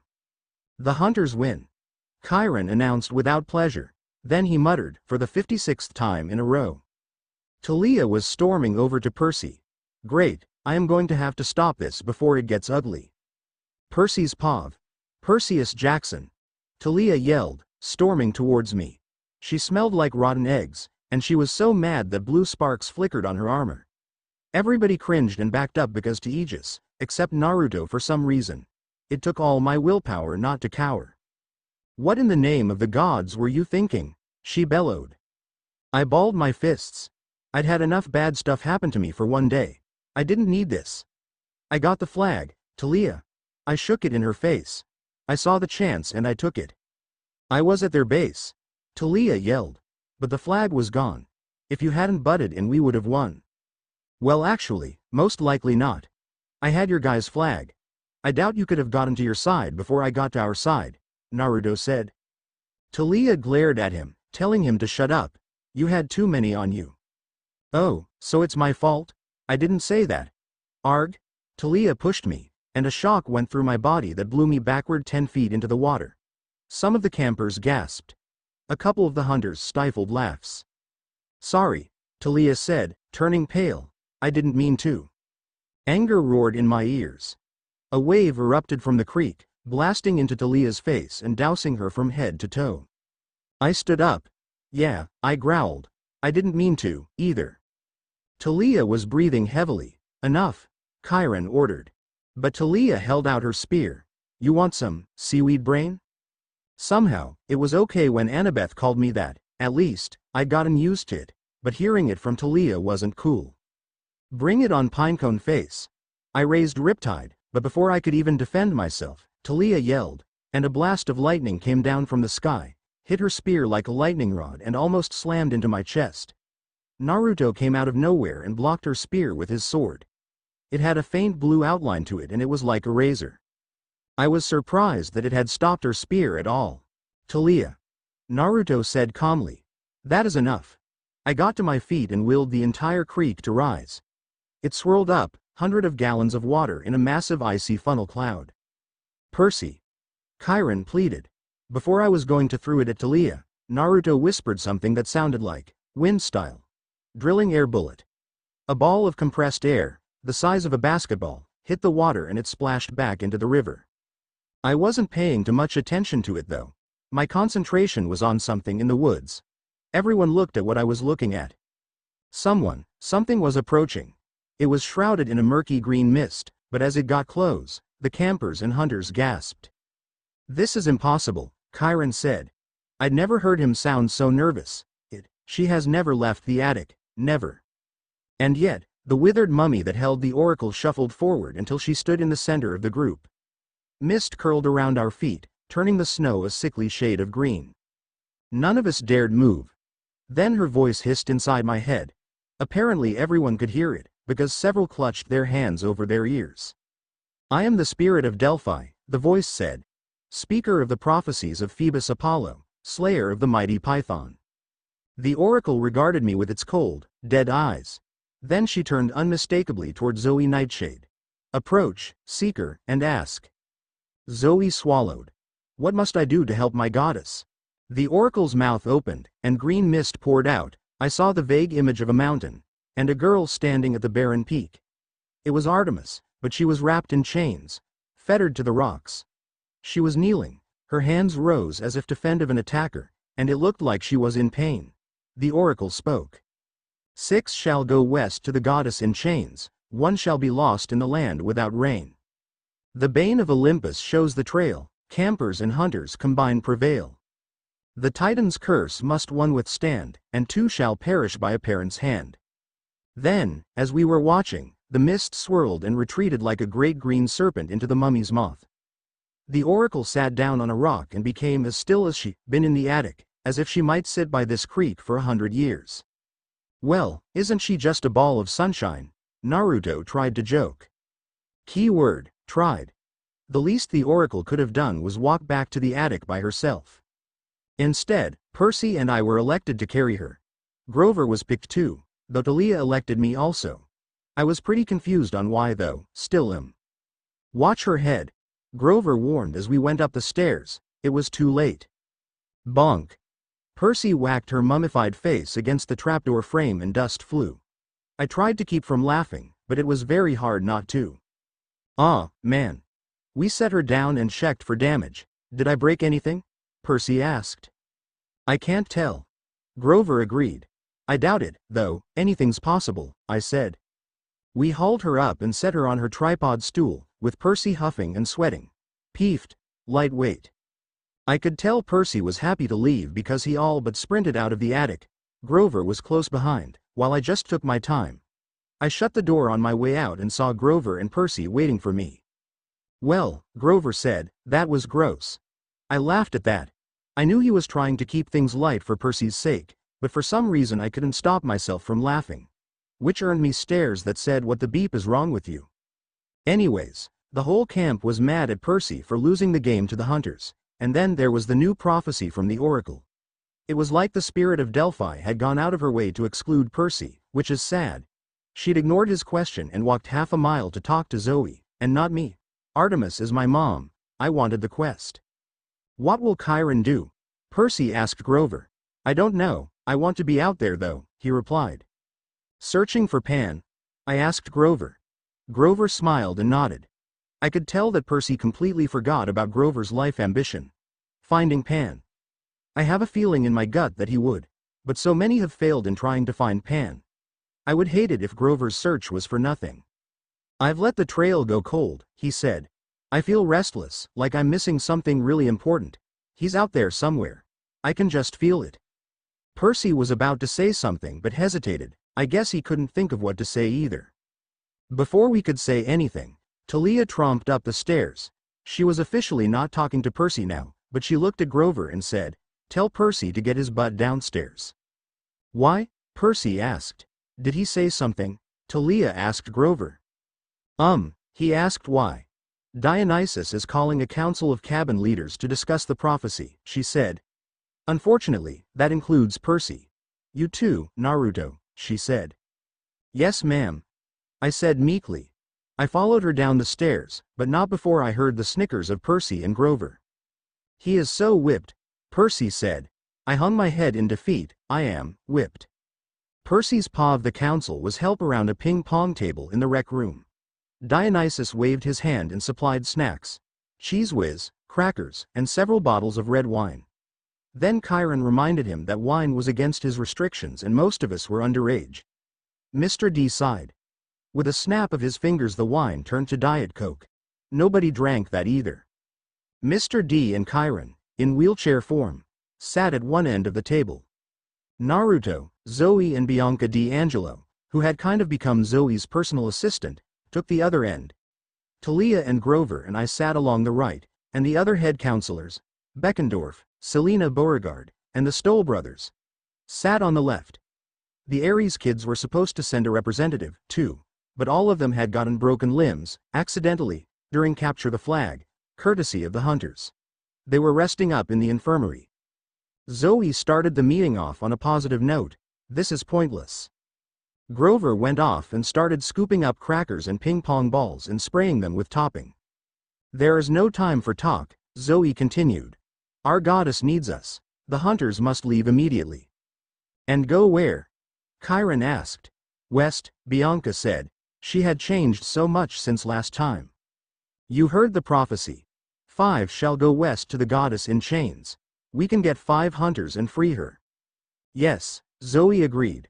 Artemis is being held hostage. We must find her and free her. It's nice to know that you're thinking ahead sweetheart, but you need to remember, campers and hunters combined prevail. If you ever want to get my mother then we all need to work together. Naruto replied off-handedly. Zoe flushed in embarrassment. Naruto always seemed to know what to say at the right times. Sometimes I wished I was more like him. No. Zoe shouted. The hunters do need thy help.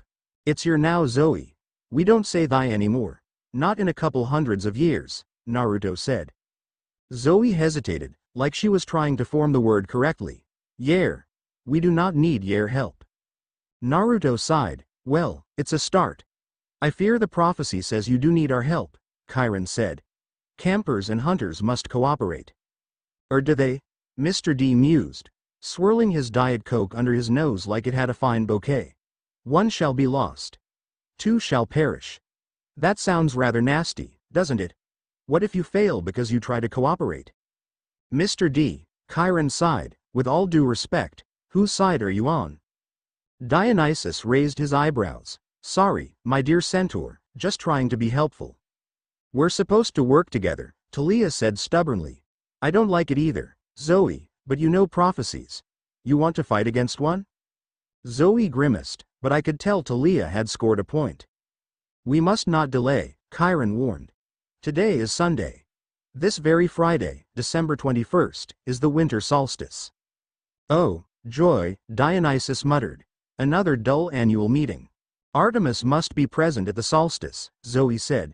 She has been one of the most vocal on the council arguing for action against Kronos' minions. If she is absent, the gods will decide nothing. We will lose another year of war preparations. Are you suggesting that the gods have trouble acting together, young lady?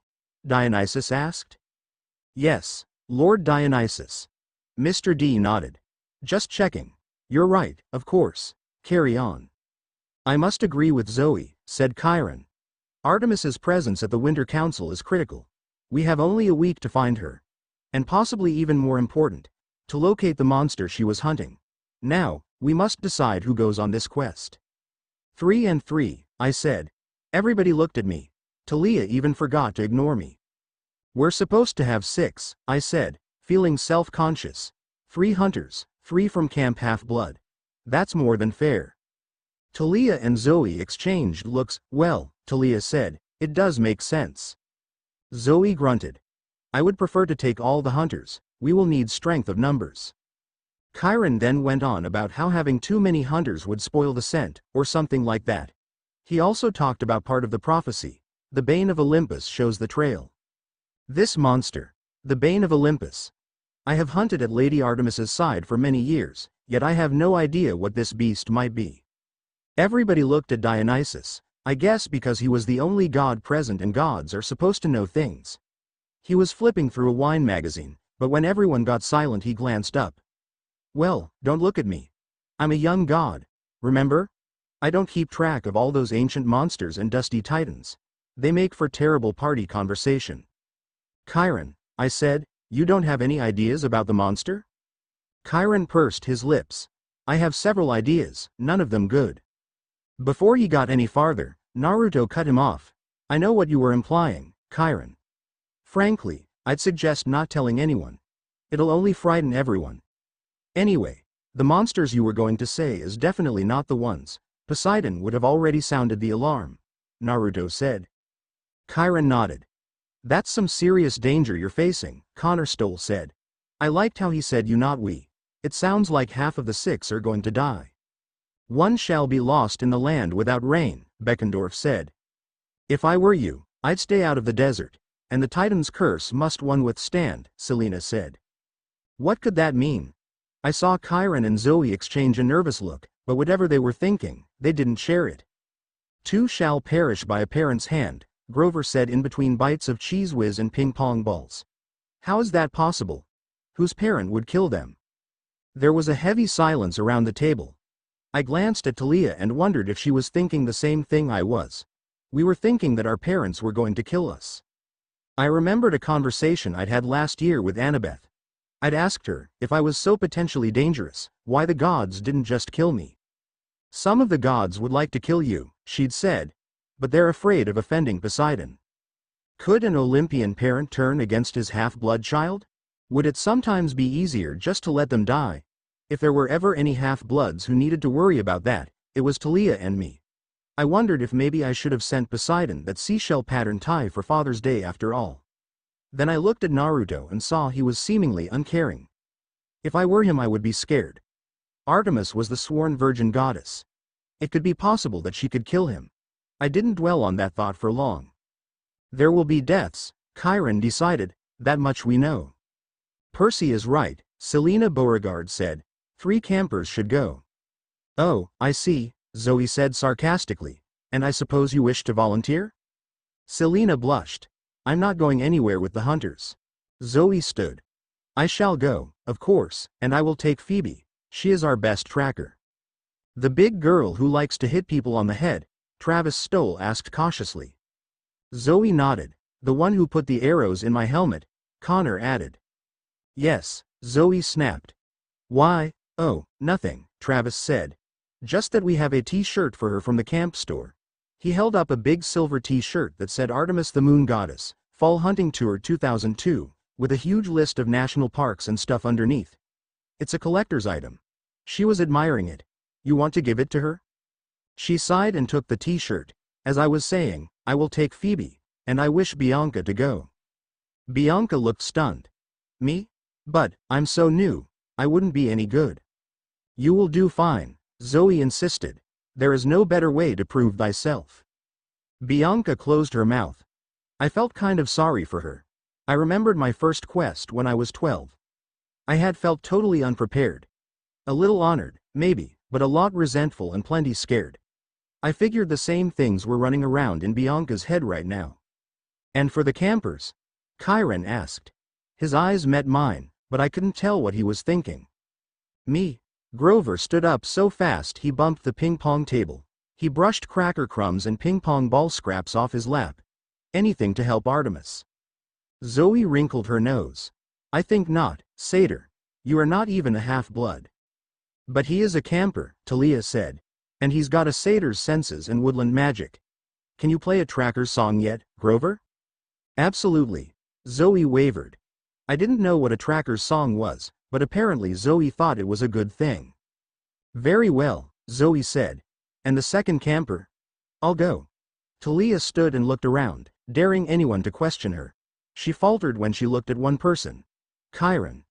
He had an odd look in his eyes, it looked like, Disappointment. She seemed to regain her composure before anyone could notice. Though I knew she was thinking the same thing as me. What's wrong with Chiron? And what of the third camper? Zoe asked impatiently. I want to go. I said. Thalia said nothing. Chiron was still studying me, his eyes sad. It should be Naruto, Artemis is his mother, Zoe said. Everyone was quiet. I looked around at Thalia and Grover and saw that they both had realized our mistakes. We all had shot off and joined the quest when Naruto should have been the first one on the quest. We all selfishly wanted to be on the quest. Now I understood why Chiron looked disappointed. He thought we would suggest Naruto be on the quest. Oh, Grover said, aware of the problem. Whoa, yeah, I forgot, Naruto has to go. I didn't mean, I'll stay. Percy and Naruto should go in my place. He cannot, Zoe said, referring to me. He is a boy, I won't have hunters traveling with a boy. You traveled here with me, and what about Naruto? He's a boy also, I reminded her. That was a short-term emergency, and it was ordered by the goddess. I will not go across country and fight dangers in the company of a boy. And in technical terms, Naruto is a man, and Artemis's son, he has to go. What about Grover?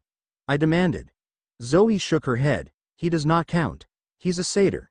He is not technically a boy. Hey, Grover protested. I have to go, I said. I need to be on this quest. Why? Zoe asked. Because of thy friend Annabeth. I felt myself blushing. I hated that everyone was looking at me. No, I mean, partly. I just feel like I'm supposed to go. Nobody rose to my defense. Mr. D looked bored, still reading his magazine. Silena, the Stoll brothers, and Beckendorf were staring at the table. Bianca gave me a look of pity. No, Zoe said flatly. I insist upon this. I will take a satyr if I must and Naruto, but not you. Naruto sighed. He hadn't spoken in a while. We all looked at him expectantly, even Mr. D rose his eyes from his magazine a bit to see what would unfold. Zoe, no offense, but I am basically the head of the Artemis cabin since I am her son. I also have authority over you and the hunters by the word of my mother from a few years ago. So I say, you will go with Bianca, Phoebe, Thalia, Grover, and Percy and that is final. Naruto said seriously, he gave Grover, Thalia, and I a kind smile. Everyone gasped. Even Mr. D was pretty surprised, considering how his eyebrows rose up. Zoe was flustered and started stammering, all the while Naruto was looking completely calm. But but, Naruto, I can handle having a satyr along and you, but not him, Zoe shouted.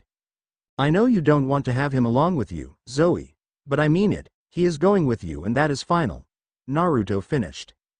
Zoe was flustered with anger but nodded nonetheless. Then what about you? Don't you want to come and help your mother? She asked. I am, Naruto said, smiling cheekily. We all stared at him like he was crazy. I am pretty sure he is crazy. Naruto, Thalia said slowly. You just said you're not going on the quest. How are you going to help find your mother? when you are not going on the quest? she shouted the last part. Oh yeah, that's right, Naruto said happily. Yup, it's official, he is crazy. But, I was given a quest by a god recently. I am to take an apprentice, to be specific. The god's, goddess's child as an apprentice.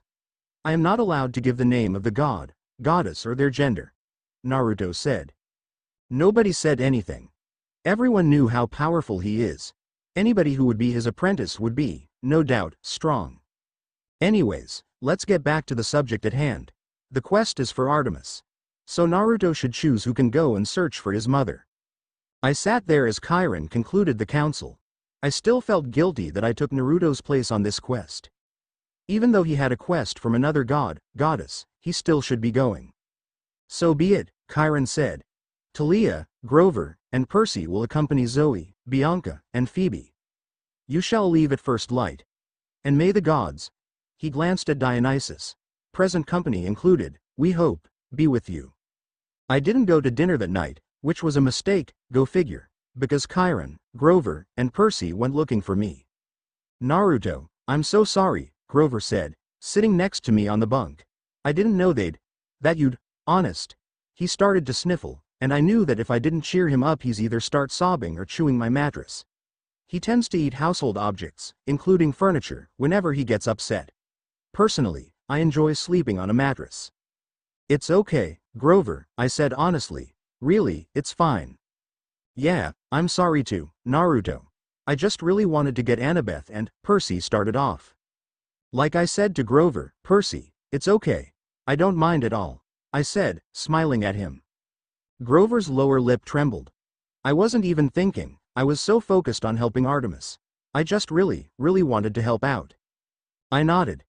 I knew that Grover was, like, in love with my mom and Percy was in love with Annabeth. He didn't know that yet, though, and he wanted to find her. Grover, Percy, Chiron said, perhaps you'd let me have a word with Naruto? Sure, Grover sniffled.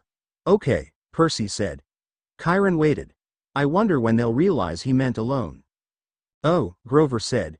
You mean alone, sure, Chiron. He looked at me miserably. See? Nobody needs a goat. I just smiled at him sadly and shook my head. He has such a low self-esteem.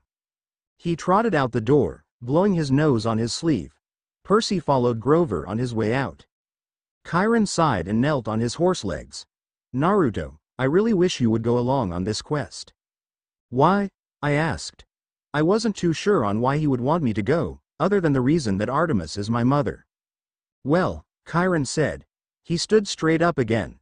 I want you to go, mostly, because you are the strongest at the camp. Except for Dionysus, of course. I would feel much better if you would go along and protect Thalia and Percy, he stated. I told you guys before, I am going to help them, and it will be like a side quest along with my main one. I said happily. Chiron frowned and looked at me intently. What is your quest, Naruto? You never told us what it really was. I sighed and got up from my bunk. I paced along the cabin a bit then stopped and looked at Chiron. My quest isn't an easy one. They made me go in front of all of them.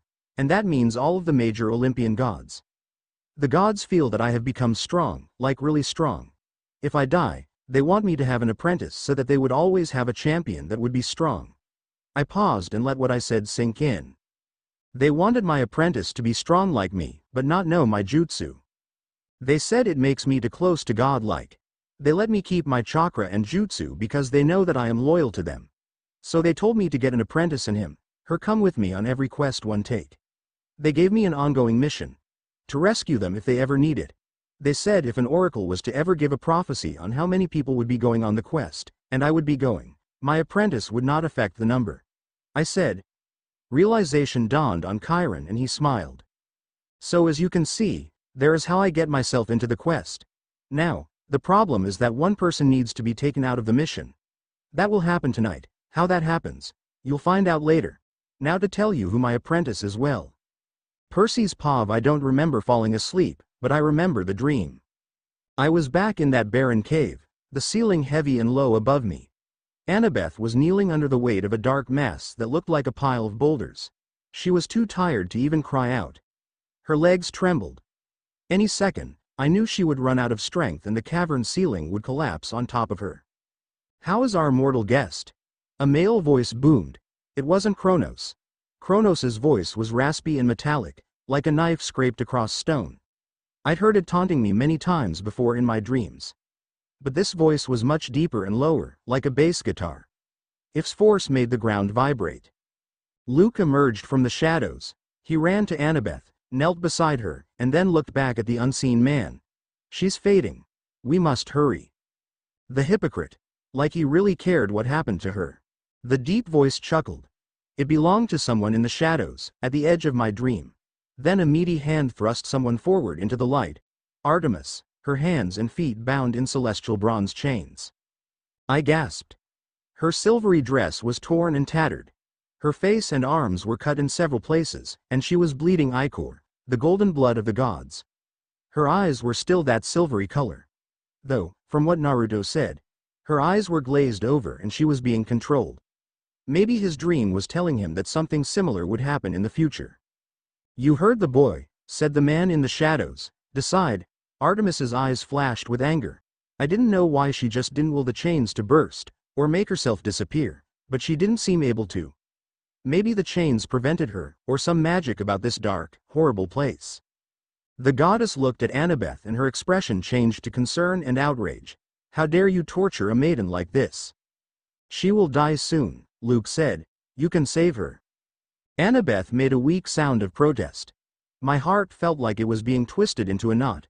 I wanted to run to her, but I couldn't move. Free my hands, Artemis said. Luke brought out his sword, Backbiter. With one strike, he broke the goddess's handcuffs. Artemis ran to Annabeth and took the burden from her shoulders. Annabeth collapsed on the ground and lay there shivering. Artemis staggered trying to support the weight of the black rocks. The man in the shadows chuckled, you are as predictable as you are easy to beat, Artemis. You surprised me, the goddess said, straining under her burden, it will not happen again. Indeed it will not, the man said. Now you are out of the way for good. I knew you could not resist helping a young maiden. That is, after all, your specialty, my dear. Artemis groaned. You know nothing of mercy, you swine. On that, the man said, we can agree. Luke, you may kill the girl now. No, Artemis shouted. Luke hesitated. She, she may yet be useful, sir. Further bait. Bah. You truly believe that? Yes, General. They will come for her, I'm sure. The man considered. Then the Dracaenae can guard her here. Assuming she does not die from her injuries, you may keep her alive until winter solstice.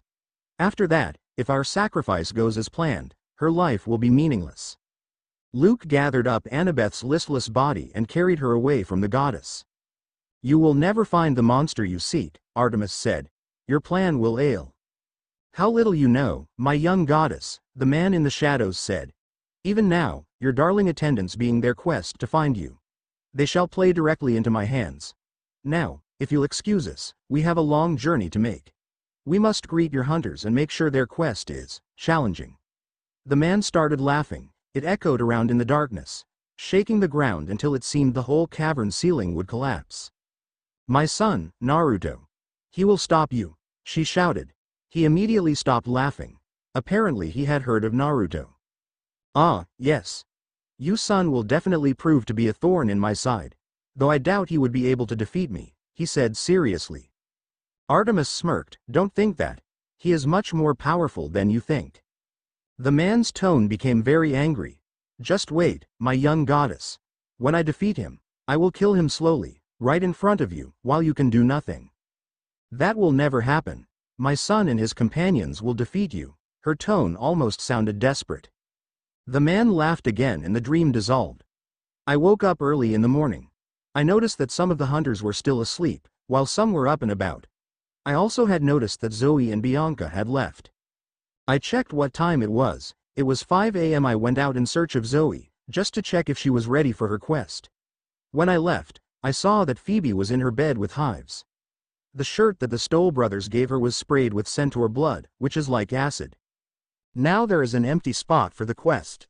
I saw Zoe and Bianca talking at one of the dining tables. Nearby, I saw that Nico was hiding behind a Greek column. I sensed someone else nearby him, though I didn't see him.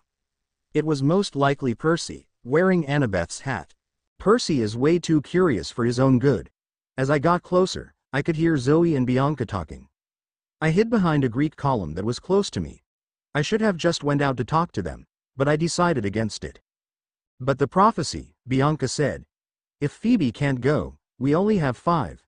We'll have to pick another. There is not time, Zoe said. We must leave at first light. That's immediately. Besides, the prophecy said we would lose one.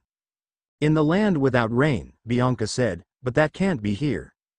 It might be, Zoe said, though she didn't sound convinced. The camp has magic borders. Nothing, not even weather, is allowed in without permission. It could be a land without rain. But, Bianca, hear me. Zoe's voice was strained. I, I can't explain, but I have a sense that we should not pick someone else. It would be too dangerous. They would meet an end worse than Phoebe's. I don't want to risk another hunter. Bianca was silent. You should tell Thalia the rest of your dream. No, it would not help, but if your suspicions are correct, about the general. I have thy word not to talk about that, Zoe said. She sounded really anguished. We will find out soon enough. Now come. Dawn is breaking. Nico scooted out of their way, though Percy wasn't fast enough. As the girls sprinted down the steps, Zoe almost ran into something. My guess is Percy. She froze, her eyes narrowing. Her hand crept toward her bow, but the Bianca said, The lights of the big house are on, hurry. And Zoe followed her out of the pavilion. Percy followed, after letting her get ahead of him a bit. I could tell that Nico was thinking about running after his sister. He drew a deep breath and was about to take off but I said, wait. He almost slipped on the icy steps as he spun around to find me. Where did you come from? I've been here the whole time. I'm a ninja. He mouthed the word ninja. Wow, cool. How did you know that Zoe and your sister were here? He blushed. I heard them walk by the Hermes cabin. I don't, I don't sleep too well at camp. So I heard footsteps and whispering. And so I kind of followed. I grinned. Now you are thinking of following them on the quest? How did you know that? Because it's quite obvious, you can't go though, I said. He looked defiant. Because I'm too young. They won't let you. They'll catch you and send you back here. In my book though, you aren't too young, but to them you would be. There will be very strong monsters. Some of the heroes will die. His shoulders sagged. He shifted from one foot to another. Maybe you're right, but, but you can go for me. Say what? Don't you want to go too? I asked, completely perplexed. I would like to go, but I'd only get us caught, he said. I frowned. Are you sure you don't want to go with me? It would be no hassle. He smiled, I'm sure. You were planning to go anyway. I smiled. Yeah, I said. I really want to help my mom, even if I didn't I would have to. I won't tell on you, he said, but you have to promise to keep my sister safe. That's a big promise, Nico, on a trip like this, it won't be easy. Promise, he insisted. I'll do my best. That's all I can promise right now. Get going, then, he said. Good luck, I nodded. Though, this was a bit crazy. I had nothing but my sword and the clothes I was wearing. Tell Chiron. I'll make something up. Nico smiled crookedly. I'm good at that. Go on. I ran as fast as I could to get to the top of Half-Blood Hill. I got there in time to see the camp's van disappearing down the farm road, probably Argus taking the quest group into the city. After that they would be on their own. I slapped my forehead. How was I supposed to keep up with them? Running. That was out of the option, it would look weird to see a teenager chasing a van through the streets. Then I thought of something. When I first met my mother, she gave me a gift, an animal ride. I only was able to get to know him for a bit, but we bonded instantly. Before my untimely death, my first death in America, I sent him to wait for me here and to tell Chiron to look after him. He should be in the stables. I ran to the stables, without anyone seeing me. When I got there, there was a multitude of horses whinnying. I looked around for my ride, and then I saw him. It was Stanley, the stag, the flying and talking stag. Since stags are sacred to my mother, she gave him to me as a gift. I went up to him and he noticed me immediately. He was resting near a stack of hay. Hey, Stanley. Do you remember me? I said. His head rose up to look at me. He rose up completely. He was about five feet tall and five feet long. He was large, for a stag. When I first met him he said that reindeer are actually caribou. From what I learned. Stags are deer, and a caribou's is a large deer. So, I guess, in a way, the caribou are also sacred to my mother. I remember you. Aren't you my owner, Naruto? He asked. Yeah, it's me. I said proudly. I was happy that he remembered me. HN, you still the same idiot. Actually, don't answer that. I was not, and still not, an idiot, I shouted. Whatever, what is it you need? You obviously didn't just show up to say, hi, he stated. I'm starting to wonder if we did ever bond, well, yeah. I do need your help. My mom was kidnapped, so I need your help to get me to the rest of the people is on that quest, I said. He didn't say anything for a while. He sighed, I guess I will help you. Thanks, Stanley, I said. He nodded. I opened up the gate of his pen and led him out. I jumped on his back and he looked at me to see if I was ready. I gave him an affirmative nod and he took off with a run. He then took a long leap and we were soon flying. The thing about flying on a stag during the daytime is that it is impossible, but not with Stanley. Though, I had to keep Stanley in the air, mostly because if people saw me riding Stanley, while going through the streets, it would cause worldwide panic. The army would be called out and shoot at me and Stanley. Eventually, one bullet would hit Stanley and we would hurtle back to the ground and crash painfully. They would capture Stanley and breed him like crazy and they would make an army of flying deer. Soon, a very fat man would get eight reindeer. He would name them Dasher, Dancer, Prancer, Vixen, Comet, Cupid, Donner, and Blitzen. He would then become Santa Claus. He would give presents to good kids on Christmas and coal for bad kids. Eventually, the bad kids would kill Santa and his reindeer. The army would then kill all of the reindeer so nobody could become Santa again. And I would be subjected to torture until I would tell them who I was working for. And after I had denied giving them information long enough, they would kill me and everyone I know. Needless to say, we stayed up in the clouds, which were, fortunately, pretty low in the winter. We darted around, trying to keep the White Camp half-blood van in sight. And if it was cold on the ground, it was seriously cold in the air, with icy rain stinging my skin. We lost the van twice.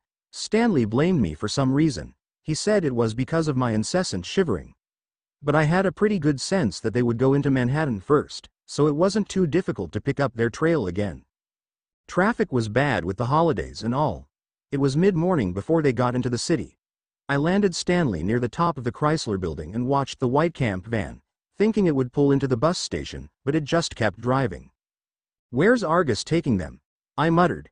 HN, Argus isn't driving. Stanley said. That girl is. Which girl? I asked impatiently.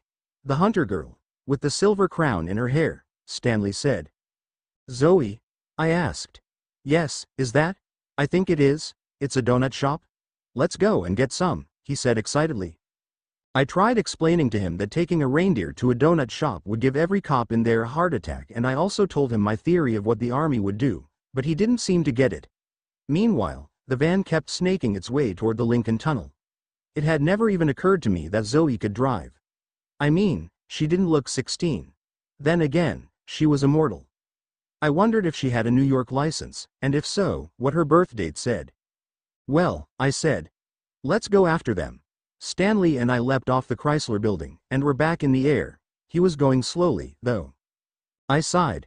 Come on, Stanley, I said, trying to sound upbeat. I'll buy you some donuts in New Jersey.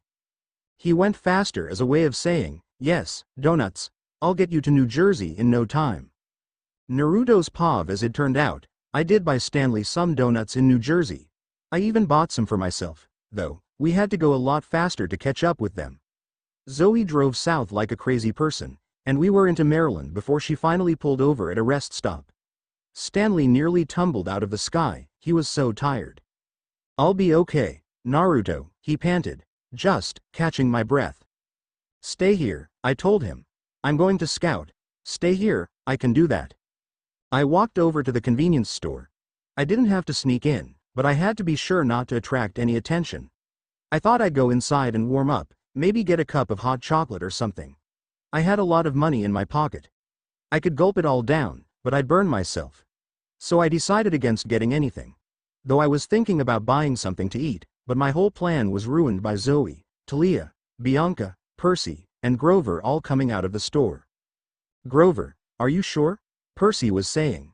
Well, pretty sure. 99%. Okay 85%. And you did this with acorns? Bianca asked, like she couldn't believe it. Grover looked offended. It's a time-honored tracking spell. I mean, I'm pretty sure I did it right. Shouldn't you be completely sure? Percy asked. DC is about 60 miles from here, Bianca said. Nico and I, she frowned. We used to live there. That's, that's strange. I'd forgotten. I dislike this, Zoe said. We should go west, the prophecy said west. Oh, like your tracking skills are better? Thalia growled. Zoe stepped toward her. You challenge my skills, you scullion? You know nothing of being a hunter? Oh, scullion. You're calling me a scullion? What the heck is a scullion? Whoa, you too, Grover said nervously. Come on. Not again. Grover's right, Percy said. DC is our best bet. Bianca said. Zoe didn't look convinced, but she nodded reluctantly. Very well. Let us keep moving. You're going to get us arrested, driving, Thalia grumbled. I look closer to 16 than you owe. Perhaps, Zoe snapped. But I have been driving since automobiles were invented. Let us go. The end.